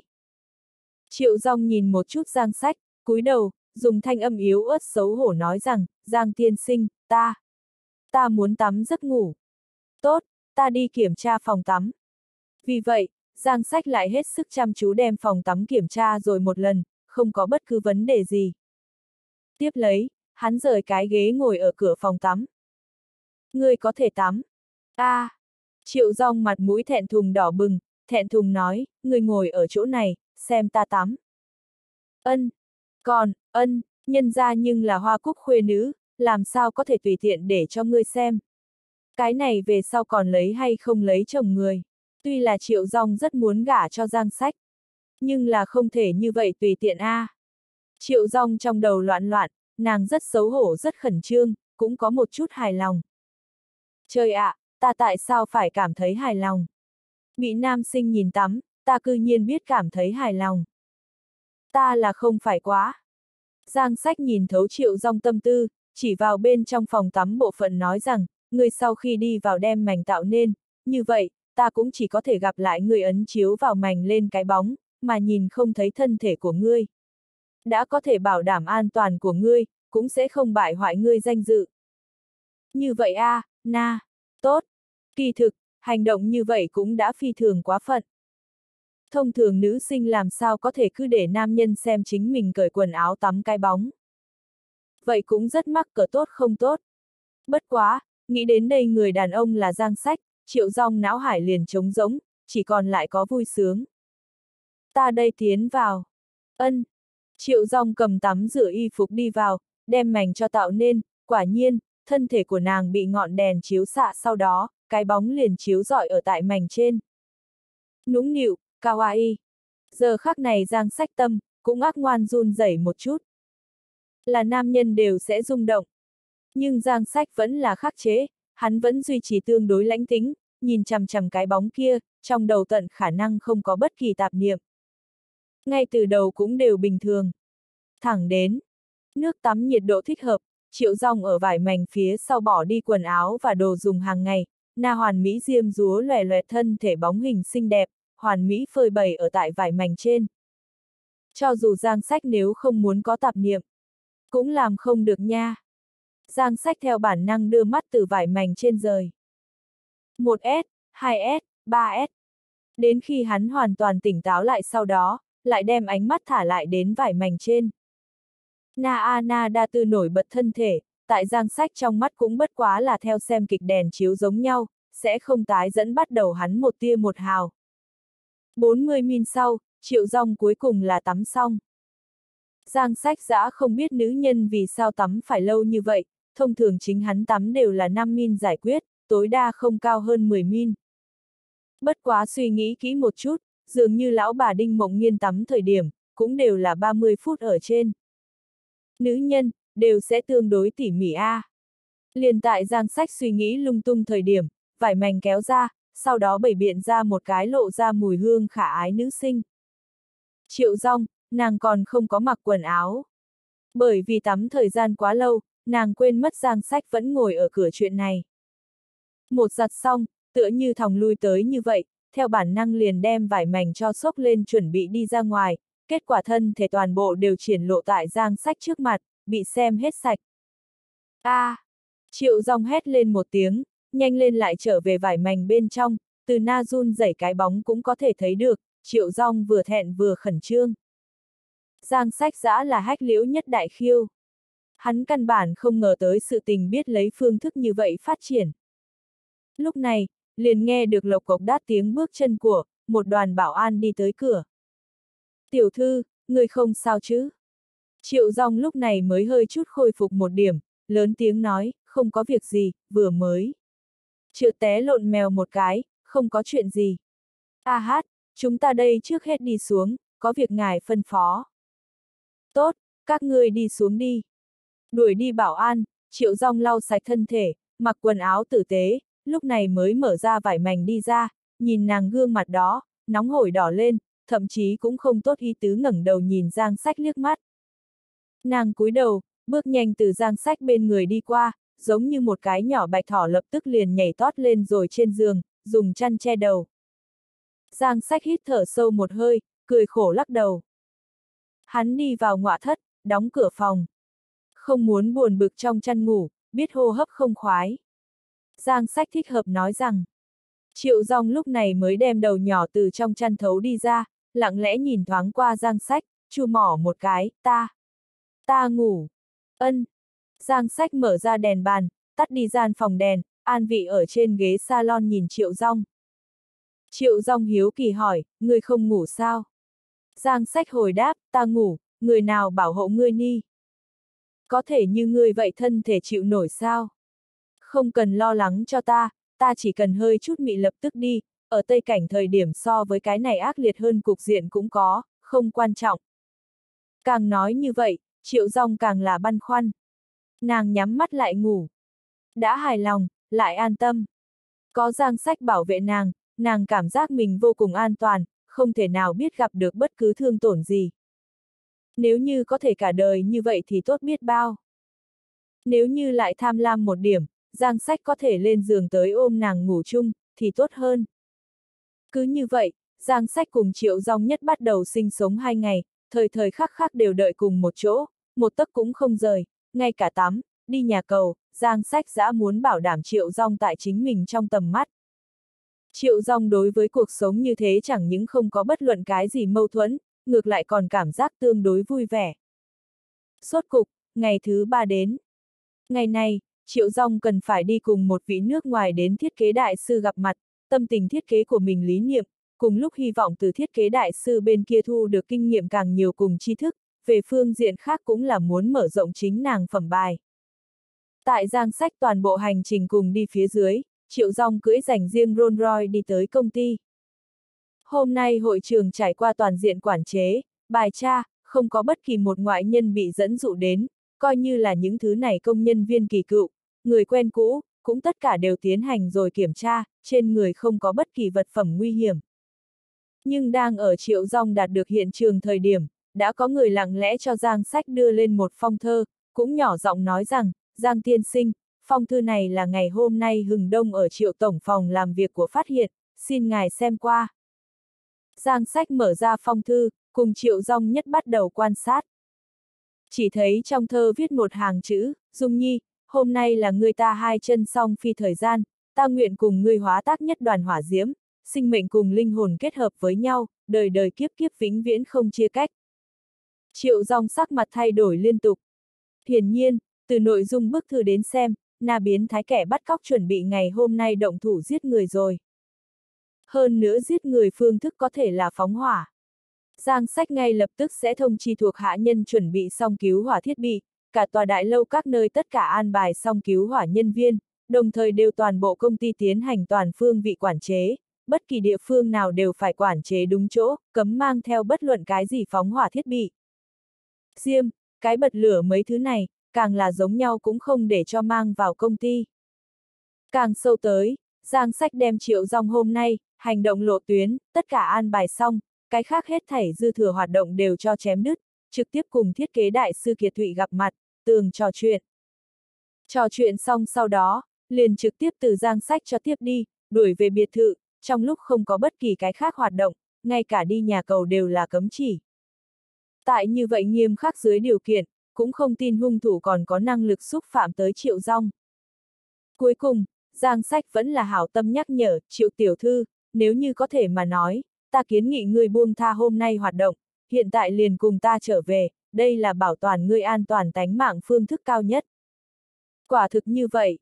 Nhưng muốn triệu rong buông tha từng ấy năm tới nay khổ cực nỗ lực kết quả, mắt thấy sẽ trích đi quả thực, lại tuyển trạch hiện tại buông tha, vẫn là quá khó khăn. Ta muốn cùng Kiệt Thụy Đại sư nhờ một chút. Tốt, giang sách giã không, chỉ là nhắc nhở, đưa cho ngươi thời gian chỉ có 20 min, tận khả năng đem nội dung tinh giản một điểm, nhiều lời hoa quả khô, thiếu nói chuyện tào lao. Minh bạch. Lập tức, Giang Sách tự mình tiến triệu rong đi vào công ty, theo thảm đỏ hướng sân khấu phương hướng đi tới. Dọc theo đường đi, camera không ngừng quay chụp. Ký giả truyền thông, công ty công nhân, tầng quản lý đều đối với gặp mặt hôm nay sẽ phi thường coi trọng. Công ty phẩm bài có thể hay không nâng cao một bước, có thể hay không khai hỏa quốc tế nổi tiếng, thì nhìn ngày hôm nay cùng Kiệt Thụy Đại Sư có hay không có thể trò chuyện ra không cùng một dạng hoa lửa. Phải biết rằng, Kiệt Thụy Đại Sư nhưng là phi thường nghiêm khắc. Trước không biết bác bỏ bao nhiêu thiết kế sư, lần này có thể cùng Triệu Rong gặp mặt, hoàn toàn là tuyệt đối Triệu Rong là một khả tạo chi tài, của nàng thiết kế thiên phú rất cao, rất muốn cùng Triệu Rong gặp mặt một lần, nghe một chút Triệu Rong có nhận xét gì. Nếu như Triệu Rong không thể để cho hắn hài lòng, na phẩm bài hiệu ứng sẽ giảm bớt nhiều. Tương phản, nếu như Kiệt Thụy Đại Sư rất hài lòng, vậy bọn họ phẩm bài sẽ lập tức trở thành quốc tế tính phẩm bài, nổi tiếng sẽ tăng lên trên diện rộng. Thị phi thành bại, thì nhìn ngày hôm nay. Triệu dòng nhất bên phất tay một bên mỉm cười đi thượng vũ thai. Giang sách đưa đến sân khấu sát biên giới sau, dừng bước, chắp hai tay sau lưng nhìn triệu rong nhất từng bước đi thượng vũ thai, ngồi ở đã sớm chuẩn bị xong trên ghế cao chân. Sau đó, Giang sách ngắm nhìn bốn phía, đem toàn trường người thần tình trạng thái đều cất vào đáy mắt. Nếu như nói hung thủ mục đích là muốn cùng triệu rong nhất bắt đầu bị đốt chết nói, như vậy, hắn liền nhất định sẽ biểu hiện ra không giống với người khác trạng thái. Tìm một vòng, Giang Sách cũng không có tìm được tương tự người. Nhưng thật ra có mấy người khả nghi, nhưng là rất nhanh thì bị phủ định rớt. Muốn từ hơn trăm người trong tìm ra không có để lộ xuất thân phân biến thái hung thủ, thật sự là khó. Bất quá, Giang Sách kỳ thực cũng tò mò, hung thủ như thế này phải như thế nào thực hiện được. Hiện trường bảo an nhưng là có mấy chục người, cả tòa đại lâu tất cả đều là quản chế, mỗi một gian WC cũng đều có bảo an phụ trách giám thị, đi thông sân khấu thảm đỏ cũng có giang sách khác lấy. Sân khấu bốn phía đều có lan can vây, còn cố ý dùng lãng hoa cho tách ra, cam đoan khoảng cách nhất định. Có thể nói, hung thủ nếu quả như thật muốn phóng hỏa chết cháy triệu rong, có lại chỉ có một con đường, đó chính là theo thảm đỏ sông lên, nhưng này phải đem giang sách cho đả đảo trên mặt đất mới được. Có hạng người sao như vậy? Giang sách đứng yên lặng, chờ đấy, đợi xem hung thủ là như thế nào phạm án. Không bao lâu, camera lại bắt đầu không ngừng quay chụp đứng lên, bởi vì hôm nay một vị khác nhân vật chính kiệt thụy đại sư đăng tràng. Hắn cưỡi chuyến đặc biệt từ tử điếm cấp 5 sao chạy tới, bước trên thảm đỏ, một bên phất tay vừa đi thượng vũ thai.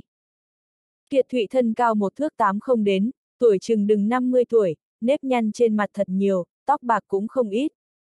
Hắn không thích nói cười, nhìn qua vô cùng nghiêm túc. Không kỳ quái, Kiệt Thụy Đại sư Phong Bình vẫn lấy, nghiêm khắc, hai chữ để hình dung, bình thường phê bình người khác, đương nhiên sẽ không có cái gì tốt sắc mặt. Ở Kiệt Thụy đến gần thời điểm, Giang Sách chủ động tránh ra một lối, làm cho Kiệt Thụy đi thượng vũ thai. Đang ở hai người gặp thoáng qua thời điểm, Giang Sách bỗng nhiên trong lúc đó cảm giác được một tia dị dạng. Hắn đột nhiên quay đầu nhìn về phía Kiệt Thụy. Cảm giác có chỗ nào không đúng tinh thần, thế nhưng một chốc còn nói không được là nơi nào không thích hợp, nhưng này cổ dị dạng làm cho Giang Sách vô cùng khó chịu. Giang Sách hai mắt híp thành một cái kẽ hở, đem toàn bộ lực chú ý đều đặt ở Kiệt Thụy trên người. Ở con mắt nhìn chừng chừng của mọi người phía dưới, Kiệt Thụy Đại Sư ngồi ở mặt khác trên một cái băng, cầm trong tay văn kiện bao đặt ở trung gian trên bàn, mỉm cười cùng Triệu Rong nắm tay.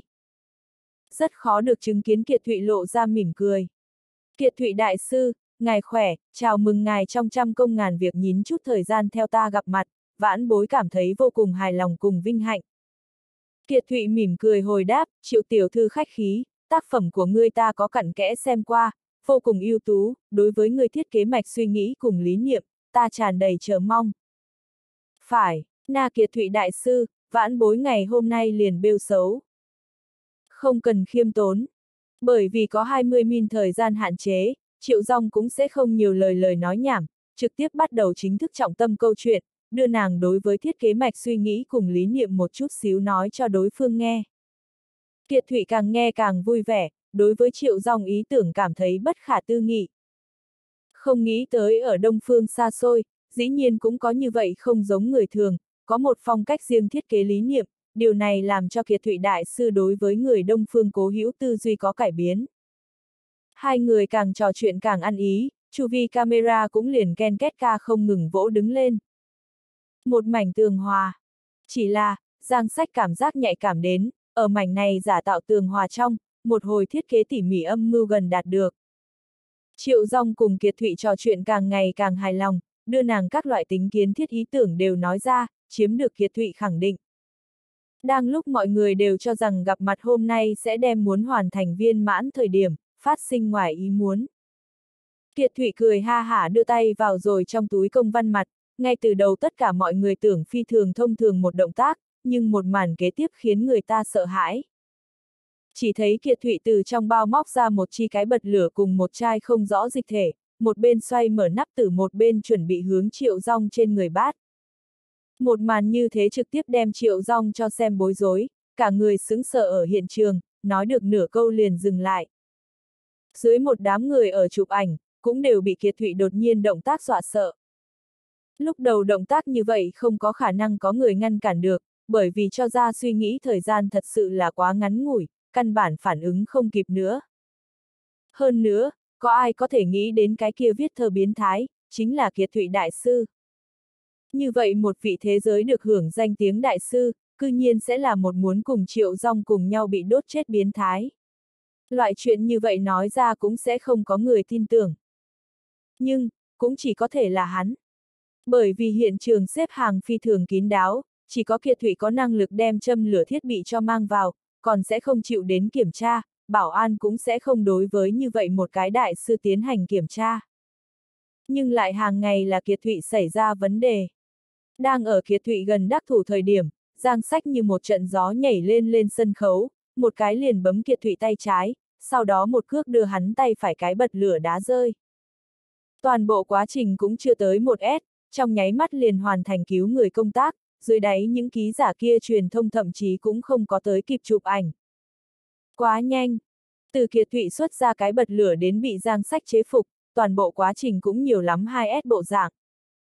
Cái loại cảm giác này, giống như là Giang Sách nhất đã sớm biết Kiệt Thụy sẽ phạm án kiện giống nhau.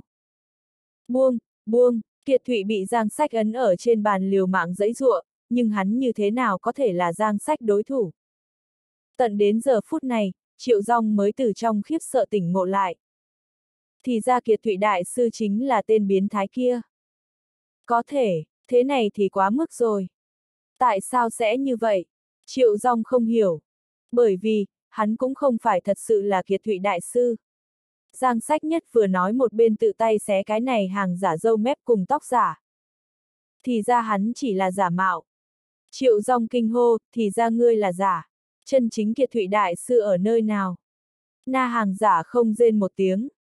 Giang sách nhất bên triệu tập bảo an sang đây xem tốt tên này hàng giả, một bên làm cho thuộc hạ nhân đi tử điếm tìm kiếm nhìn, nếu như hắn không có đoán sai, chân chính kiệt thụy đại sư nhất định là tại bên trong quán rượu bị người khống chế được.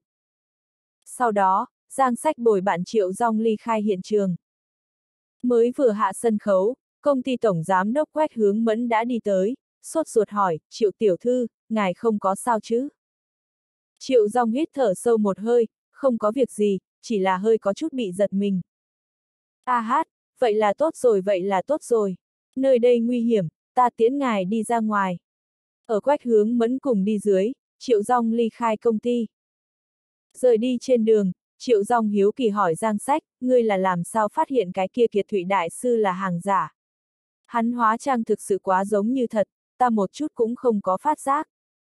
Giang sách từ tốn nói, ngay từ đầu ta cũng không có phát giác, thẳng đến hắn từ bên cạnh ta đi qua thời điểm. Đi qua thời điểm. Ân, Giang sách giải thích, ta cảm giác hô hấp của hắn vô cùng bình ổn thông thuận, tương đương mạnh mẽ, đó là chỉ có thanh niên nhân mới có đặc thù. Giống như cái kia cái tuổi người, hô hấp tuyệt đối không có khả năng như vậy mạnh mẽ, mặc dù được bảo dưỡng cho dù tốt cũng làm không được. Triệu Dung gật đầu, cho nên người ngay từ đầu cũng cảm giác được hắn có chuyện, mới có thể tại hắn vừa mới chuẩn bị động thủ thời điểm liền chế phục rồi hắn. Đúng là như vậy. Giang sách đem Triệu Dung an bài lên xe. Lúc này, Quách hướng mẫn chủ động qua đây nói rằng, Giang tiên sinh, cái kia hàng giả còn có làm phiền ngài hỗ trợ xử lý. Nhất định. Na triệu tiểu thư bên này, ta sẽ tự mình tiễn nàng trở về. Ân, ta an bài xe hộ tống các ngươi trở về. Giang sách nhất vẫy tay, lập tức có nhiều chiếc xe qua đây tiến hành hộ tống, quách hướng mẫn tự mình lái xe đưa triệu rong trở về biệt thự. Nhìn xe của các nàng đi xa sau đó, Giang sách liền chuẩn bị một lần nữa trở về công ty, cặn kẽ điều tra một cái, nhìn na hàng giả rốt cuộc nghĩ như thế nào. Vừa lúc đó, một trận điện thoại gọi lại. Uy! Giang tiên sinh, chúng ta đã đem Kiệt Thụy Đại Sư ngủ lại tử điếm điều tra qua, tựa như ngươi suy đoán như vậy, quả nhiên Kiệt Thụy Đại Sư bị bắt cóc, vẫn luôn nhốt ở trong phòng, y phục, văn kiện đều bị hàng giả lấy mất. Đã biết, những thứ này đều cùng Giang Sách đoán giống nhau, không có gì hay ly kỳ. Lúc đầu sự tình nên đến đây kết thúc. Giang Sách cũng đều chuẩn bị cúp điện thoại, kết quả bên đầu điện thoại kia lại truyền tới một câu nói. Được rồi Giang Tiên Sinh, căn cứ kiệt thủy đại sư miêu tả, bắt cóc hắn ngoại trừ một người nam ở ngoài, còn giống như có một nữ. Bọn họ là đội gây, không phải một người. Đội gây. Trong nháy mắt, Giang Sách trong đầu sinh ra một cái phi thường đáng sợ ý niệm trong đầu. Hắn hoảng sợ nhìn về phía triệu rong xe phương hướng ly khai, càng nghĩ càng sợ. Không xong. Kỳ thực Giang Sách vừa mới cũng rất kỳ quái, cái kia hàng giả trước mặt mọi người xuất ra cái bật lửa muốn cùng triệu rong đồng quy vu tận, loại chuyện như vậy thực sự có thể. Hiện trường nhiều như vậy bảo an, nhiều như vậy bình chữa lửa, có thể đem người đốt chết có khả năng quá thấp. Bây giờ minh bạch, thì ra cái kia hàng giả vẻn vẹn chỉ là một thủ thuật che mắt. Chân chính muốn cùng triệu rong hóa thành một đám lửa cũng không phải là cái kia hàng giả, mà là một người nữ quách hướng mẫn. Chết tiệt, ta cư nhiên mắc phải cấp thấp như vậy lệch lạc. Giang sách cảm thấy sâu đậm tự trách. Kỳ thực cũng không trách hắn. Dù sao, ai cũng theo bản năng cho rằng tên biến thái kia hung thủ là một người nam nhân, lại có mấy người đoán được na biến thái cư nhiên sẽ là một người nữ nhân. Hơn nữa còn là cho tới nay sâu triệu dòng tín nhiệm tổng giám đốc. Hơn nữa tất cả mọi người cho rằng hung phạm bị bắt rồi, trong khoảng thời gian ngắn khó tránh khỏi sẽ có có chút lơn ý. Quách hướng mẫn chính là lợi dụng mọi người tư duy hình thái, triệu dòng tín nhiệm, cùng với nhất thời lơ là bất cẩn, mới có thể ở giang sách dưới mí mắt đem triệu dòng bắt đi. Lúc này, mặt khác một trận điện thoại gọi lại. Uy! Giang thiên sinh, đã xảy ra chuyện. Triệu tiểu thư xe đột nhiên lệch khỏi quỹ đạo bình thường phương hướng, đem chúng ta đều bỏ rơi rớt, hiện tại không biết lái đi chỗ nào. Lại là một cái tin dữ. Quách hướng mẫn bỏ qua rồi những người khác, mang theo triệu rong biến mất không thấy, sợ là thật muốn cùng triệu rong cùng nhau bị đốt cháy trí tử. Người nữ nhân này quá điên cuồng. Cũng quá thông minh. Giang sách cắn răng, hắn rất ít bị người bức bách tới mức như thế, bằng lòng tốt người phải bảo vệ, nhưng bởi vì hắn sai lầm mà bỏ mạng nói, Na Tu La chiến thần không khỏi cũng quá kém cỏi. Triệu rong, quyết không thể chết. Triệu gia trang trong viên, Triệu Hải Nhân đang ở nhà trong cùng lão bà Tề Vân Mỹ xem TV kịch, một bên cho lão bà nước uống quả một bên cho lão bà bóp chân. Đừng xem Triệu Hải Nhân ở bên ngoài bao nuôi không biết bao nhiêu tình phụ, toàn quốc các nơi đều có nữ nhân, nhưng hắn đối với lão bà vẫn là rất trung trinh. Bên ngoài đùa lợi hại hơn nữa, tại gia đều rất thành thật bản phận. Có thể, cũng chính bởi vì tại gia đến mức thật lợi hại, mới có thể bình thường đi ra ngoài phóng túng. Không có biện pháp, trong nhà cái này một vị thật sự là cọp mẹ, quá hung. Đừng xem triệu hải nhân đối với người khác hung ba ba, về đến nhà liền cùng một con khéo léo mèo con giống nhau, lão bà nói một hắn không dám nói hai, lão bà đi đông hắn không dám đi tây. Điển hình bổ cào lỗ tai. Lão bà, bóp thoải mái không? Triệu hải nhân tiện hề hề hỏi. Ân, tạm được, tề vân Mỹ thay đổi mặt khác một chân cho triệu hải nhân bóp, chính mình tiếp tục ăn hoa quả xem TV, giống như là cổ đại hoàng thái hậu giống nhau. Ở toàn bộ triệu gia, ngoại trừ gia chủ ở ngoài, Tề Vân Mỹ trên cơ bản ai cũng không để vào mắt. Một là bởi vì nàng tính khí nóng nảy, hai cũng là bởi vì nàng năng lực nổi bật. Triệu gia có thể có hôm nay địa vị, cùng Tề Vân Mỹ không thể tách rời. Triệu Hải Nhân bao nhiêu lần đối mặt thất bại, đều là Tề Vân Mỹ cho ngạnh sinh sinh lật bàn, triệu ra bao nhiêu đại hạng mục không giải quyết được, đều là Tề Vân Mỹ bày mưu tính kế giải quyết. Tề Vân Mỹ, là triệu gia không thể thiếu đại não. Cho nên mới phải tại gia có như thế địa vị tôn quý. Lúc này, Triệu Hải nhân điện thoại di động vang lên, hắn khi lấy được lão bà cho phép sau đó, nhận nghe điện thoại. Vừa mới chuyển được, liền nghe được bên đầu điện thoại kia truyền đến thủ hạ lo lắng hốt hoảng thanh âm, phó đồng, không xong, triệu dòng tiểu thư đã xảy ra chuyện, nàng bị người bắt đi rồi. Cái gì? Triệu hải nhân hách liễu nhất đại khiêu. Không phải đều an bài một đống lớn nhân tiến hành bảo hộ sao? Chả thế nào gặp phải người bị bắt đi tình huống. Ở cặn kẽ nghe xong báo cáo sau đó, triệu hải nhân gấp đến độ giống như là kiến bò trên chảo nóng, chân tay luống cuống, cả gia tộc hắn thương yêu nhất chính là cái này em gái. Nếu như triệu dòng có một không hay xảy ra, hắn sống thế nào a? À? Giang sách tên khốn kiếp này, chẳng có tác dụng gì có, rác rưởi, quá rác dưới. Tề vân Mỹ bạch liễu tha nhất nhãn, loại thời điểm này ngươi vội vàng sao động có ích lợi gì. Còn không mau liên hệ cảnh sát, vận dụng tất cả có thể vận dụng lực lượng, đem bọn cướp tìm cho ra cũng chế phục. Chuyện cho tới bây giờ cũng chỉ có thể như vậy. Vấn đề là, cái này giặc cướp cũng không phải hướng về phía tiền tới, mà là muốn cùng triệu rong tự tử, cùng chết. Cho nên mặc dù tìm được thì có ích lợi gì, có thể cứu được xuống tới người sao. Triệu hải nhân thở dài một hơi, nhưng vẫn là dựa theo lão bà thuyết pháp đi làm. Cùng lúc đó, Quách hướng mẫn cũng sớm đã lái xe mang theo triệu rong ly khai, tốc độ xe cực nhanh. Nhìn chu vi phong cảnh không ngừng biến hóa, ngoài cửa sổ cây cối nhanh chóng lui về phía sau tránh đi, triệu rong phi thường sợ. Nàng sợ hãi nhìn về phía quách hướng mẫn, thanh âm khiếp đảm hỏi, hướng mẫn, người muốn dẫn ta đi nơi nào nha? Quách hướng mẫn khóe miệng hơi nhếch lên, lộ ra một quỷ dị nụ cười xảo trá.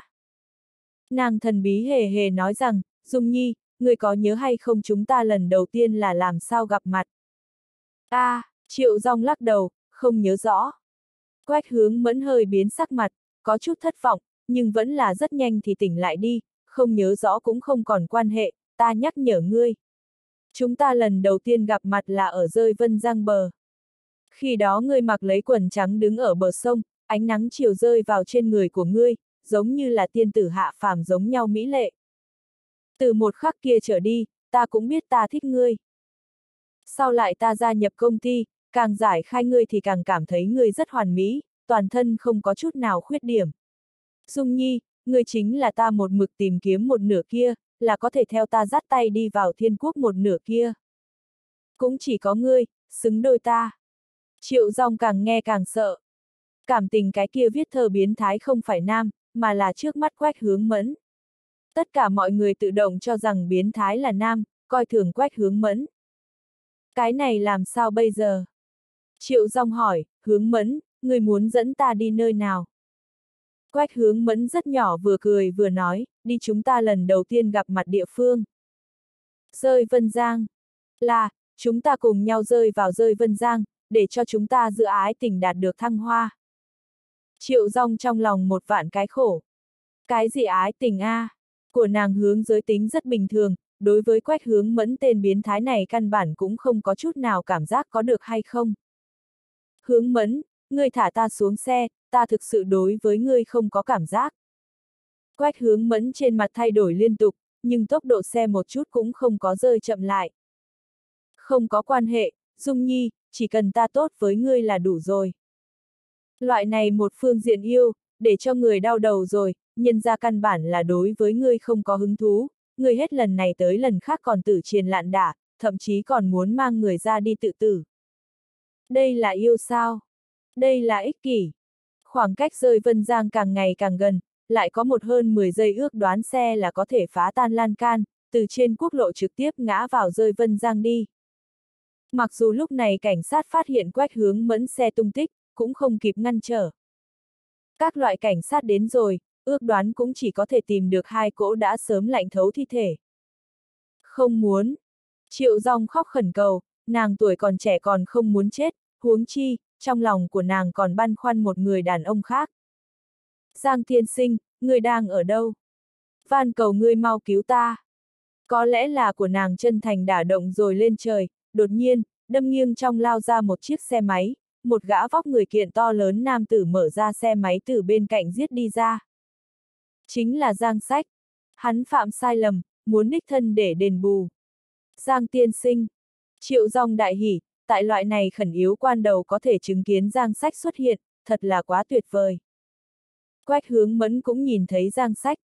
Nàng khinh thường lạnh rên một tiếng, nói rằng, chỉ bằng một mình hắn còn muốn cứu người. Đừng có nằm mộng, Dung Nhi, ngày hôm nay ngươi là ta, chúng ta nhất định phải hai chân song phi. Trong giọng nói, xe đã vào tới lan can bên. Giang sách xe máy chạy tới, cả người từ trên xe gắn máy nhảy dựng lên, vững vàng rơi vào trần xe. Quách hướng mẫn không quan tâm, đem đạp cần ga tận cùng, xe trực tiếp liền phá tan lan can, liền xông ra ngoài, hướng phía đáy vực xuống rơi vân giang rơi xuống đi. Dung Nhi, chúng ta sẽ kết hợp nhất thể rồi, người vui hay không? Quách hướng mẫn lộ ra cuồng vọng nụ cười. Lâu như vậy tới nay, nàng vẫn luôn đang chờ đợi giờ khắc này, rốt cục, có thể cùng triệu rong cùng nhau tự tử, cảm giác này thực sự quá tuyệt vời. Vừa lúc đó, bịch một tiếng vang thật lớn, cửa kiếng xe bị đập mở, Giang Sách tự tay mở cửa xe. Triệu tiểu thư, tay đưa ta. Giang Sách ghé vào trần xe, ở xe cấp tốc hạ xuống đồng thời, đưa tay đưa về phía Triệu Rong. Triệu Rong không chút do dự đưa tay tới cầm Giang Sách cánh tay. Người nghĩ làm cái gì? Quách hướng mẫn nóng nảy, tự tay từ bên chân cầm lấy một bả búa, hướng phía Giang Sách cánh tay đập tới, nàng tuyệt đối không cho phép có người ngăn cản lần này tự tử kế hoạch. Quyết không cho phép. Mắt thấy búa sẽ chém chúng Giang Sách cánh tay, khẩn cấp phía dưới, Triệu Rong không quan tâm, trực tiếp dùng thân thể đánh về phía quách hướng mẫn, một cái liền đem nàng đụng thất điên bát đảo, cả người cắm ở xe tọa trong lúc đó. Có thể đem ôn nhu hiền lành Triệu Rong bước bách đến nước này, cũng có thể nhìn ra nàng đối với Giang Sách có bao nhiêu lưu ý. Triệu tiểu thư, đi lên. Giang Sách vươn cái tay còn lại, đồng thời bắt lại Triệu Rong, dùng sức lôi kéo, trực tiếp đem Triệu Rong cho lôi đến trần xe. Cùng lúc đó, một trận phi cơ trực thăng trực tiếp lái tới, thang dây buông. Giang sách một tay ôm triệu rong hông của, một tay nắm chặt lay động qua tới thang dây, sau đó đã bị phi cơ trực thăng cho treo đi lên phi hành. Bên trong xe, chỉ còn lại quách hướng mẫn một người. Nàng xuyên thấu qua cửa sổ xe chứng kiến triệu rong được cứu đi, tuyệt vọng tình giật phu ngôn biểu. Không phải, không phải. Hại nhân cuối cùng hại mình, nàng tính kế cả buổi, kết quả là đem mình cho tính toán chết, triệu rong lại bị bình an cứu đi, như vậy chàng cảnh có thể nào để cho nàng tiếp thu. Vài giây qua đi, xe nặng nề nện vào rồi lạc vân trong nước, phát sinh tiếng vang kịch liệt, vang lên to lớn bọt sóng. Sau lại làm cảnh sát đem xe vớt đi lên thời điểm, quách hướng mẫn cũng sớm đã chết đuối. Nàng chết không nhắm mắt. Lúc đầu thoạt nhìn phi thường kế hoạch hoàn mỹ, giống như này dễ dàng bị giang sách làm hỏng rồi. Có lại chỉ có giang sách có thể bực này trong hoàn cảnh ác liệt cứu người. Nếu như là người bình thường, sợ là chỉ có thể đi vớt triệu rong thi thể, căn bản không cách nào cứu người. Cứ như vậy, giang sách ôm thật chặt triệu rong, theo phi cơ trực thăng rơi vào an toàn vị trí, triệu hải nhân mang theo một nhóm lớn người chạy tới, đối với triệu rong hỏi han ân cần, an bài một đống lớn bác sĩ cấp cho triệu rong xem bệnh, rất sợ triệu rong sẽ có cái gì không đúng. Nhưng mà, Triệu Dòng đem bọn họ toàn bộ đều đuổi đi. Nàng ôm thật chặt Giang Sách, chỉ có ở Giang Sách trong lòng, nàng mới có thể cảm giác được ấm áp cùng an toàn.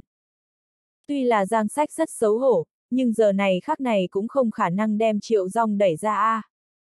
Cứ như vậy, dưới ánh mặt trời, Triệu rong tâm từ từ bình tĩnh trở lại. Trở lại Triệu ra biệt thự. Triệu rong thay quần áo sạch sẽ ngồi ở trên ghế salon, vẫn còn có chút chưa tỉnh hồn, Triệu trí Lai cùng Triệu Hải Nhân cũng đều sợ đến chảy mồ hôi lạnh ròng ròng. Hoàn hảo bọn họ cho mời Giang Sách hỗ trợ, bằng không hậu quả khó mà lường được. Triệu Chí Lai nói rằng, không nghĩ tới A, công ty tổng giám đốc cư nhiên sẽ là biến thái hung thủ, xác thực khiến người ta đoán không được. Triệu Hải Nhân phụ họa nói, đúng vậy, ta thiên toán vạn toán chính là không có tính tới, cái này biến thái cư nhiên sẽ là một nữ nhân. Quách hướng mẫn chính là lợi dụng mọi người tư duy hình thái, cho rằng biến thái nhất định sẽ là nam, chỉ có dễ dàng như vậy đem triệu rong cho mang đi. Kỳ thực, nếu như không phải giang sách sắp xếp người đi điều tra tử điếm, ngay cả giang sách đều bị mông tại cổ lý rồi. Tên hung thủ này, thực sự giảo hoạt. Triệu Chí Lai đối với Giang Sách nói rằng, Giang tiên sinh, ta đều đã không biết làm sao cảm tạ ngươi mới tốt nữa, ngươi mấy lần đã cứu chúng ta người triệu ra tính mệnh, nói thật, lớn như vậy ân, chúng ta triệu ra căn bản không trả nổi.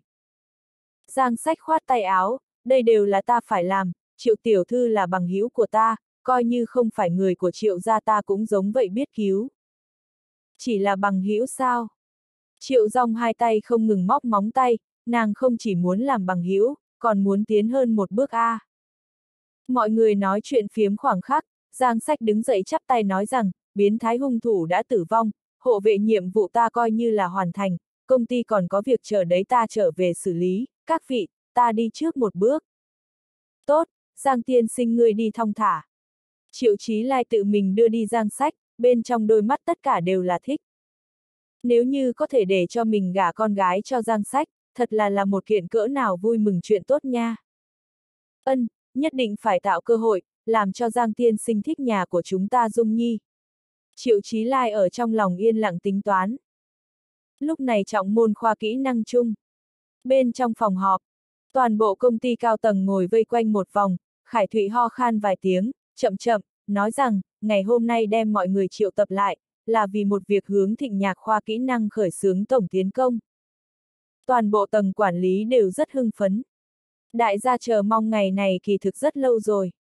Khải Thụy nói rằng, quá khứ thịnh nhạc khoa kỹ năng mượn đàm ra thế lực, khi dễ chúng ta khi dễ quá thảm rồi, ngay cả chúng ta lão đồng sự trưởng ngô lão ra đều là chết ở giang sách đám người kia trong tay. Vì báo thù, chúng ta phải đem thịnh nhạc khoa kỹ năng nhổ tận gốc. Trước đây chúng ta có thể làm không được, nhưng bây giờ cục diện không giống nhau.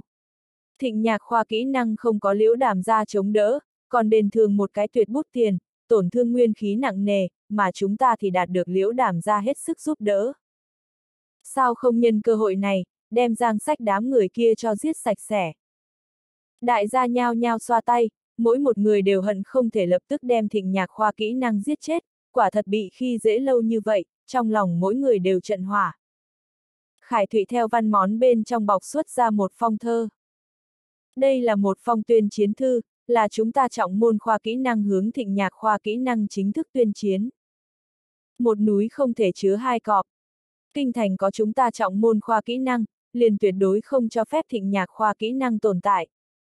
Ta cần một người đem phong thư này giao cho Giang Sách, cho thấy thái độ của chúng ta, cũng để cho toàn bộ kinh thành người biết, chúng ta trọng môn khoa kỹ năng tổng công kích sau cùng, đến rồi. Hắn nhìn chung quanh một vòng, suy nghĩ do ai đi giao phong thư này tương đối khá. Đang ở Khải Thụy suy tính đồng thời, lao kéo không chút do dự nói rằng, đại ca, chuyện này liền giao cho ta làm đi.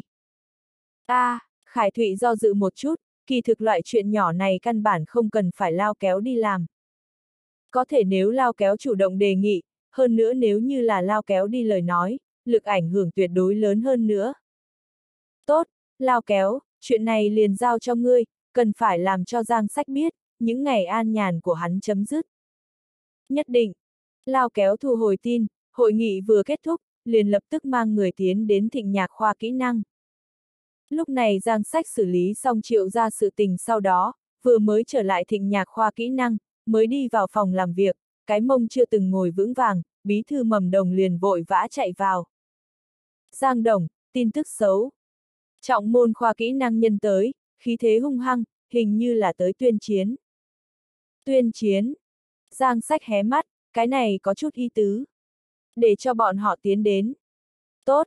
Mầm đồng lập tức làm cho trọng môn khoa kỹ năng nhân đi tới cửa phòng làm việc, bất quá, chỉ làm cho lao kéo đi một mình vào phòng làm việc. Mầm đồng, người trước đi ra ngoài, thuận tiện đem cửa đóng lại. Tốt. Mầm đồng dựa theo giang sách phân phó rời phòng làm việc, tiện tay đóng cửa lại, ở bên ngoài nhìn chằm chằm trọng môn khoa kỹ năng những người khác, một ngày có bất kỳ gây rối cử động, liền lập tức làm cho bảo an động thủ xin bọn họ ly khai. Không khí của hiện trường phi thường xấu hổ, đại chiến hết sức căng thẳng. Bên trong phòng làm việc, Giang sách lẳng lặng nhìn lao kéo, hai người tuy là không nói câu nào, thế nhưng với nhau trong ánh mắt đều rất có cố sự. Dung Nhi bình an vô sự a. À. Ân. Lao kéo thở phào nhẹ nhõm, sau đó đi tới đem tuyên chiến thư đặt ở trên bàn. Giang sách, lúc này đây ta tới, chính là muốn nói cho ngươi, chúng ta trọng môn khoa kỹ năng muốn với các ngươi thịnh nhạc khoa kỹ năng tuyên chiến. Kinh thành, chỉ nên có một vòi nước. Giang sách đưa qua tuyên chiến thư mở ra nhìn, khẽ lắc đầu, giọng bình thản nói rằng, các người vốn có thể an phận sống, hà tất nóng lòng muốn chết. A hát, lao kéo khinh thường nói, Giang sách, người thật giống như đối với mình thực lực rất có tự tin a. À. Mời làm rõ ràng, lúc này không giống ngày xưa, người không có liễu đàm ra chống đỡ, mà chúng ta lại đạt được liễu đàm ra hết sức giúp đỡ, người ta thực lực của hai bên xảy ra long trời lỡ đất chuyển biến. Người còn dùng cụ ánh mắt để đối đãi sự vật, sẽ chết rất thê thảm. Giang sách từ tốn nói, các ngươi cho là có đảm ra chống đỡ là có thể muốn làm gì thì làm. Thật tình không biết, các ngươi đã rơi vào hổ khẩu. Na đàm ra, không có chút nào đáng giá tín nhiệm. Lao kéo ha hả cười nói, có đáng giá hay không tín nhiệm, chúng ta tự có bình phán. Ngày hôm nay ta không phải tới với người đấu khẩu, giang sách, ngày lành của ngươi đến rồi đầu, tái kiến. Nói xong, nàng xoay người muốn đi. Lúc này, giang sách bỗng nhiên gọi nàng lại, đi ngay rồi không? Nếu không, đâu? Ngươi sẽ không có những vấn đề khác muốn hỏi ta sao? Ta có thể có vấn đề gì? Giang sách cười ha ha, nếu như ngươi thật không có vấn đề, vậy hôm nay tới tiễn tuyên chiến thư cũng sẽ không là ngươi lao lôi. Giang sách xem người nhìn rất chính xác. Liếc mắt một liền thấy xuyên lao kéo tâm sự. Lao kéo dẫy dụa khoảng khắc, xoay người nhìn về phía giang sách, chỉ nói một câu nói, ta nghĩ muốn nghĩa phụ kiểm nghiệm xác báo cáo. Quả nhiên, kỳ thực giang sách sáng sớm liền nghĩ đến. Lao kéo trước cho rằng giang sách là sát hại ngô lão gia hung thủ, vậy khẳng định là bị người đầu độc. Người nọ nếu có thể đầu độc lao kéo, đương nhiên cũng liền có dấu giếm chân tướng thủ đoạn. Quả nhiên, lao kéo đi về sau đó, đi qua các loại phương pháp tiến hành điều tra, nhưng chính là không còn cách nào điều tra ra chân tướng, tất cả mọi người thống nhất đường kính nói ngô lão ra là bị giang sách nhân đốt chết. Nhưng lao kéo không phải người ngu. Nàng từ mỗi người lời nói cử chỉ mơ hồ phát giác, những người này đều cũng có vấn đề. Lao kéo giống như là bị giam trong lồng chim nhỏ, chu vi bao vây lấy trời xanh mây trắng bằng lụa, dường như sinh hoạt tại phi thường tốt đẹp chính là trong hoàn cảnh. Trên thực tế, na bằng lụa ở ngoài, là huyết chỉ địa ngục. Lao kéo rất muốn bay ra lồng sắt, nhưng căn bản làm không được, nàng chưa từng có cái nào một khắc sợ hãi như vậy qua, cảm giác tự do thân thể hoàn toàn bị quản chế. Cho nên hắn hôm nay mới sẽ chủ động tìm đến Giang Sách. Chỉ ít, cái kia quản chế người của nàng, là không có có biện pháp quản chế Giang Sách, ở Giang Sách nơi đây, nàng có thể có thể thu được chân tướng. Điều kiện tiên quyết là Giang Sách cái này nhân loại phải dựa vào được. Giang Sách nghe xong lao kéo vấn đề, mỉm cười, tự tay mở ra ngăn kéo, từ bên trong lấy ra một phần tài liệu đưa cho lao kéo. Ngày hôm đó ngươi sau khi rời khỏi, ta liền nhờ quan hệ lấy được ngô lão ra kiểm nghiệm xác báo cáo. Ngươi xem một chút a. À. Có thể, sẽ có không tưởng được tình báo. Lao kéo kích động đi về phía trước hai bước, một cái liền cầm lên rồi trên bàn kiểm nghiệm xác báo cáo, nghĩa phụ đích thực thật nguyên nhân cái chết là cái gì, đang ở trong tay nàng rồi. Nàng khẩn trương nhìn về phía giang sách, hỏi, người xác định phần này kiểm nghiệm xác báo cáo không phải giả. Giang sách hồi đáp, có phải giả hay không cũng không quyết định bởi với ta, mà quyết định bởi ngươi có tín nhiệm hay không ta. Nói cách khác, chân tướng như thế nào, toàn bằng lao kéo chính mình phán đoán. Lao kéo hít thở sâu một hơi, thận trọng đem khám nghiệm tử thi báo cáo mở ra, nhận nhận chân chân, tỉ mỉ đọc. Từ trên xuống dưới, từ trang thứ nhất đến một trang cuối cùng, không sót một chữ toàn bộ đọc xong. Kỳ thực đang nhìn không đến một phần năm thời điểm, nàng cũng đã ra kết luận rồi, nhìn hết toàn bộ cũng chỉ là vì tìm chứng cứ phần báo cáo này đích thực thật tính. Từ tự thuật, sắp chữ, con dấu, ký tên các loại các phương diện đến xem, đây đúng là cảnh sát khám nghiệm tử thi báo cáo, có thể tin cực cao. Kỳ thực loại này khám nghiệm tử thi báo cáo hơi chút dùng chút thủ đoạn có thể có được, cũng không phải là cái gì chuyện rất khó. Thế nhưng, lao kéo ở trọng môn khoa học kỹ thuật thời điểm, người bên cạnh sử dụng các loại biện pháp đều không giải quyết được, lúc đó nàng đã cảm thấy có vấn đề, giống như là có người cố ý gạt không cho nàng biết chân tướng giống nhau. Cho tới bây giờ nhìn xong chân thật khám nghiệm tử thi báo cáo, lao lạp đại tỉ mỉ giải khai nguyên nhân. Từ nơi này phần khám nghiệm tử thi báo cáo đến xem, ngô lão gia cũng không phải là chết bởi hỏa hoạn. Tuy là ngô lão gia bị hỏa hoạn đốt cháy khét, nhìn qua đốt rất thảm, nhưng là từ thi thể lồng ngực, đường hô hấp cũng không có phát hiện bất kỳ cho tàn. Điều này nói rõ ngô lão gia đang bị hỏa hoạn đốt cháy trước cũng đã chết. Mặt khác, cảnh sát ở ngô lão gia sau đầu phát hiện một cái một tấc không tới vết thương, trực tiếp đem cái ót cho đâm, đây mới là ngô lão gia chân chính nguyên nhân tử vong. Người là không có cách nào chính mình dùng đao đâm sau gáy của chính mình muỗng. Nói cách khác, có người dùng đao đâm mặc ngô lão ra cái ót dẫn đến cái chết, sau đó cố ý phóng hỏa đốt cháy, gây nên hỏa hoạn, đưa tới thường nhân cho rằng ngô lão ra là bị hỏa hoạn đốt chết. Mặt khác, ở hiện trường hỏa hoạn cảnh sát còn phát hiện rất đa nghi điểm. Đó chính là ngô lão ra trên người thiêu đốt tốc độ rõ ràng nhanh hơn địa phương khác, hiển nhiên là có người đem các loại dịch nhiên vật phẩm đặt ở ngô lão ra trên người, tăng thiêu đốt tốc độ. Cái này cũng càng thêm chứng thực ngô lão ra cũng không phải chết bởi hỏa hoạn. Xem hoàn toàn bộ phận kiểm nghiệm xác báo cáo, lao kéo nguyên vật thả lại, trong đầu loạn thành nhất đoàn. Giang sách nói rằng, bây giờ có thể chứng minh trong sạch của ta rồi không? Lao kéo lạnh lùng nói rằng, chỉ có thể chứng minh nghĩa phụ ta không phải là bị hỏa thiêu chết, cũng có có thể là thủ hạ của ngươi giết chết nghĩa phụ ta sau đó, lại ngụy trang thành hỏa hoạn, ý đồ tránh được cảnh sát bắt. Giang sách nở nụ cười.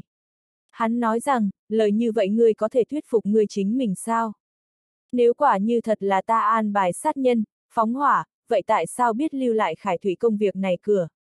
Thân thể hắn kém như vậy, không thể so ngô lão ra khó giết bao nhiêu a. À? Cái này, Giang sách là ở nhắc nhở lao kéo khải thụy có trọng đại hiểm nghi.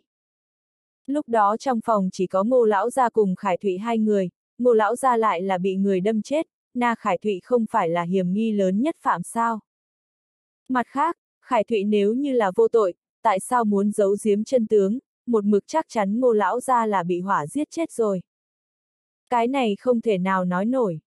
Kể từ bây giờ căn cứ chính xác theo đến xem, Khải Thụy là hung thủ xác suất cực đại. Thế nhưng, Lao kéo không tin.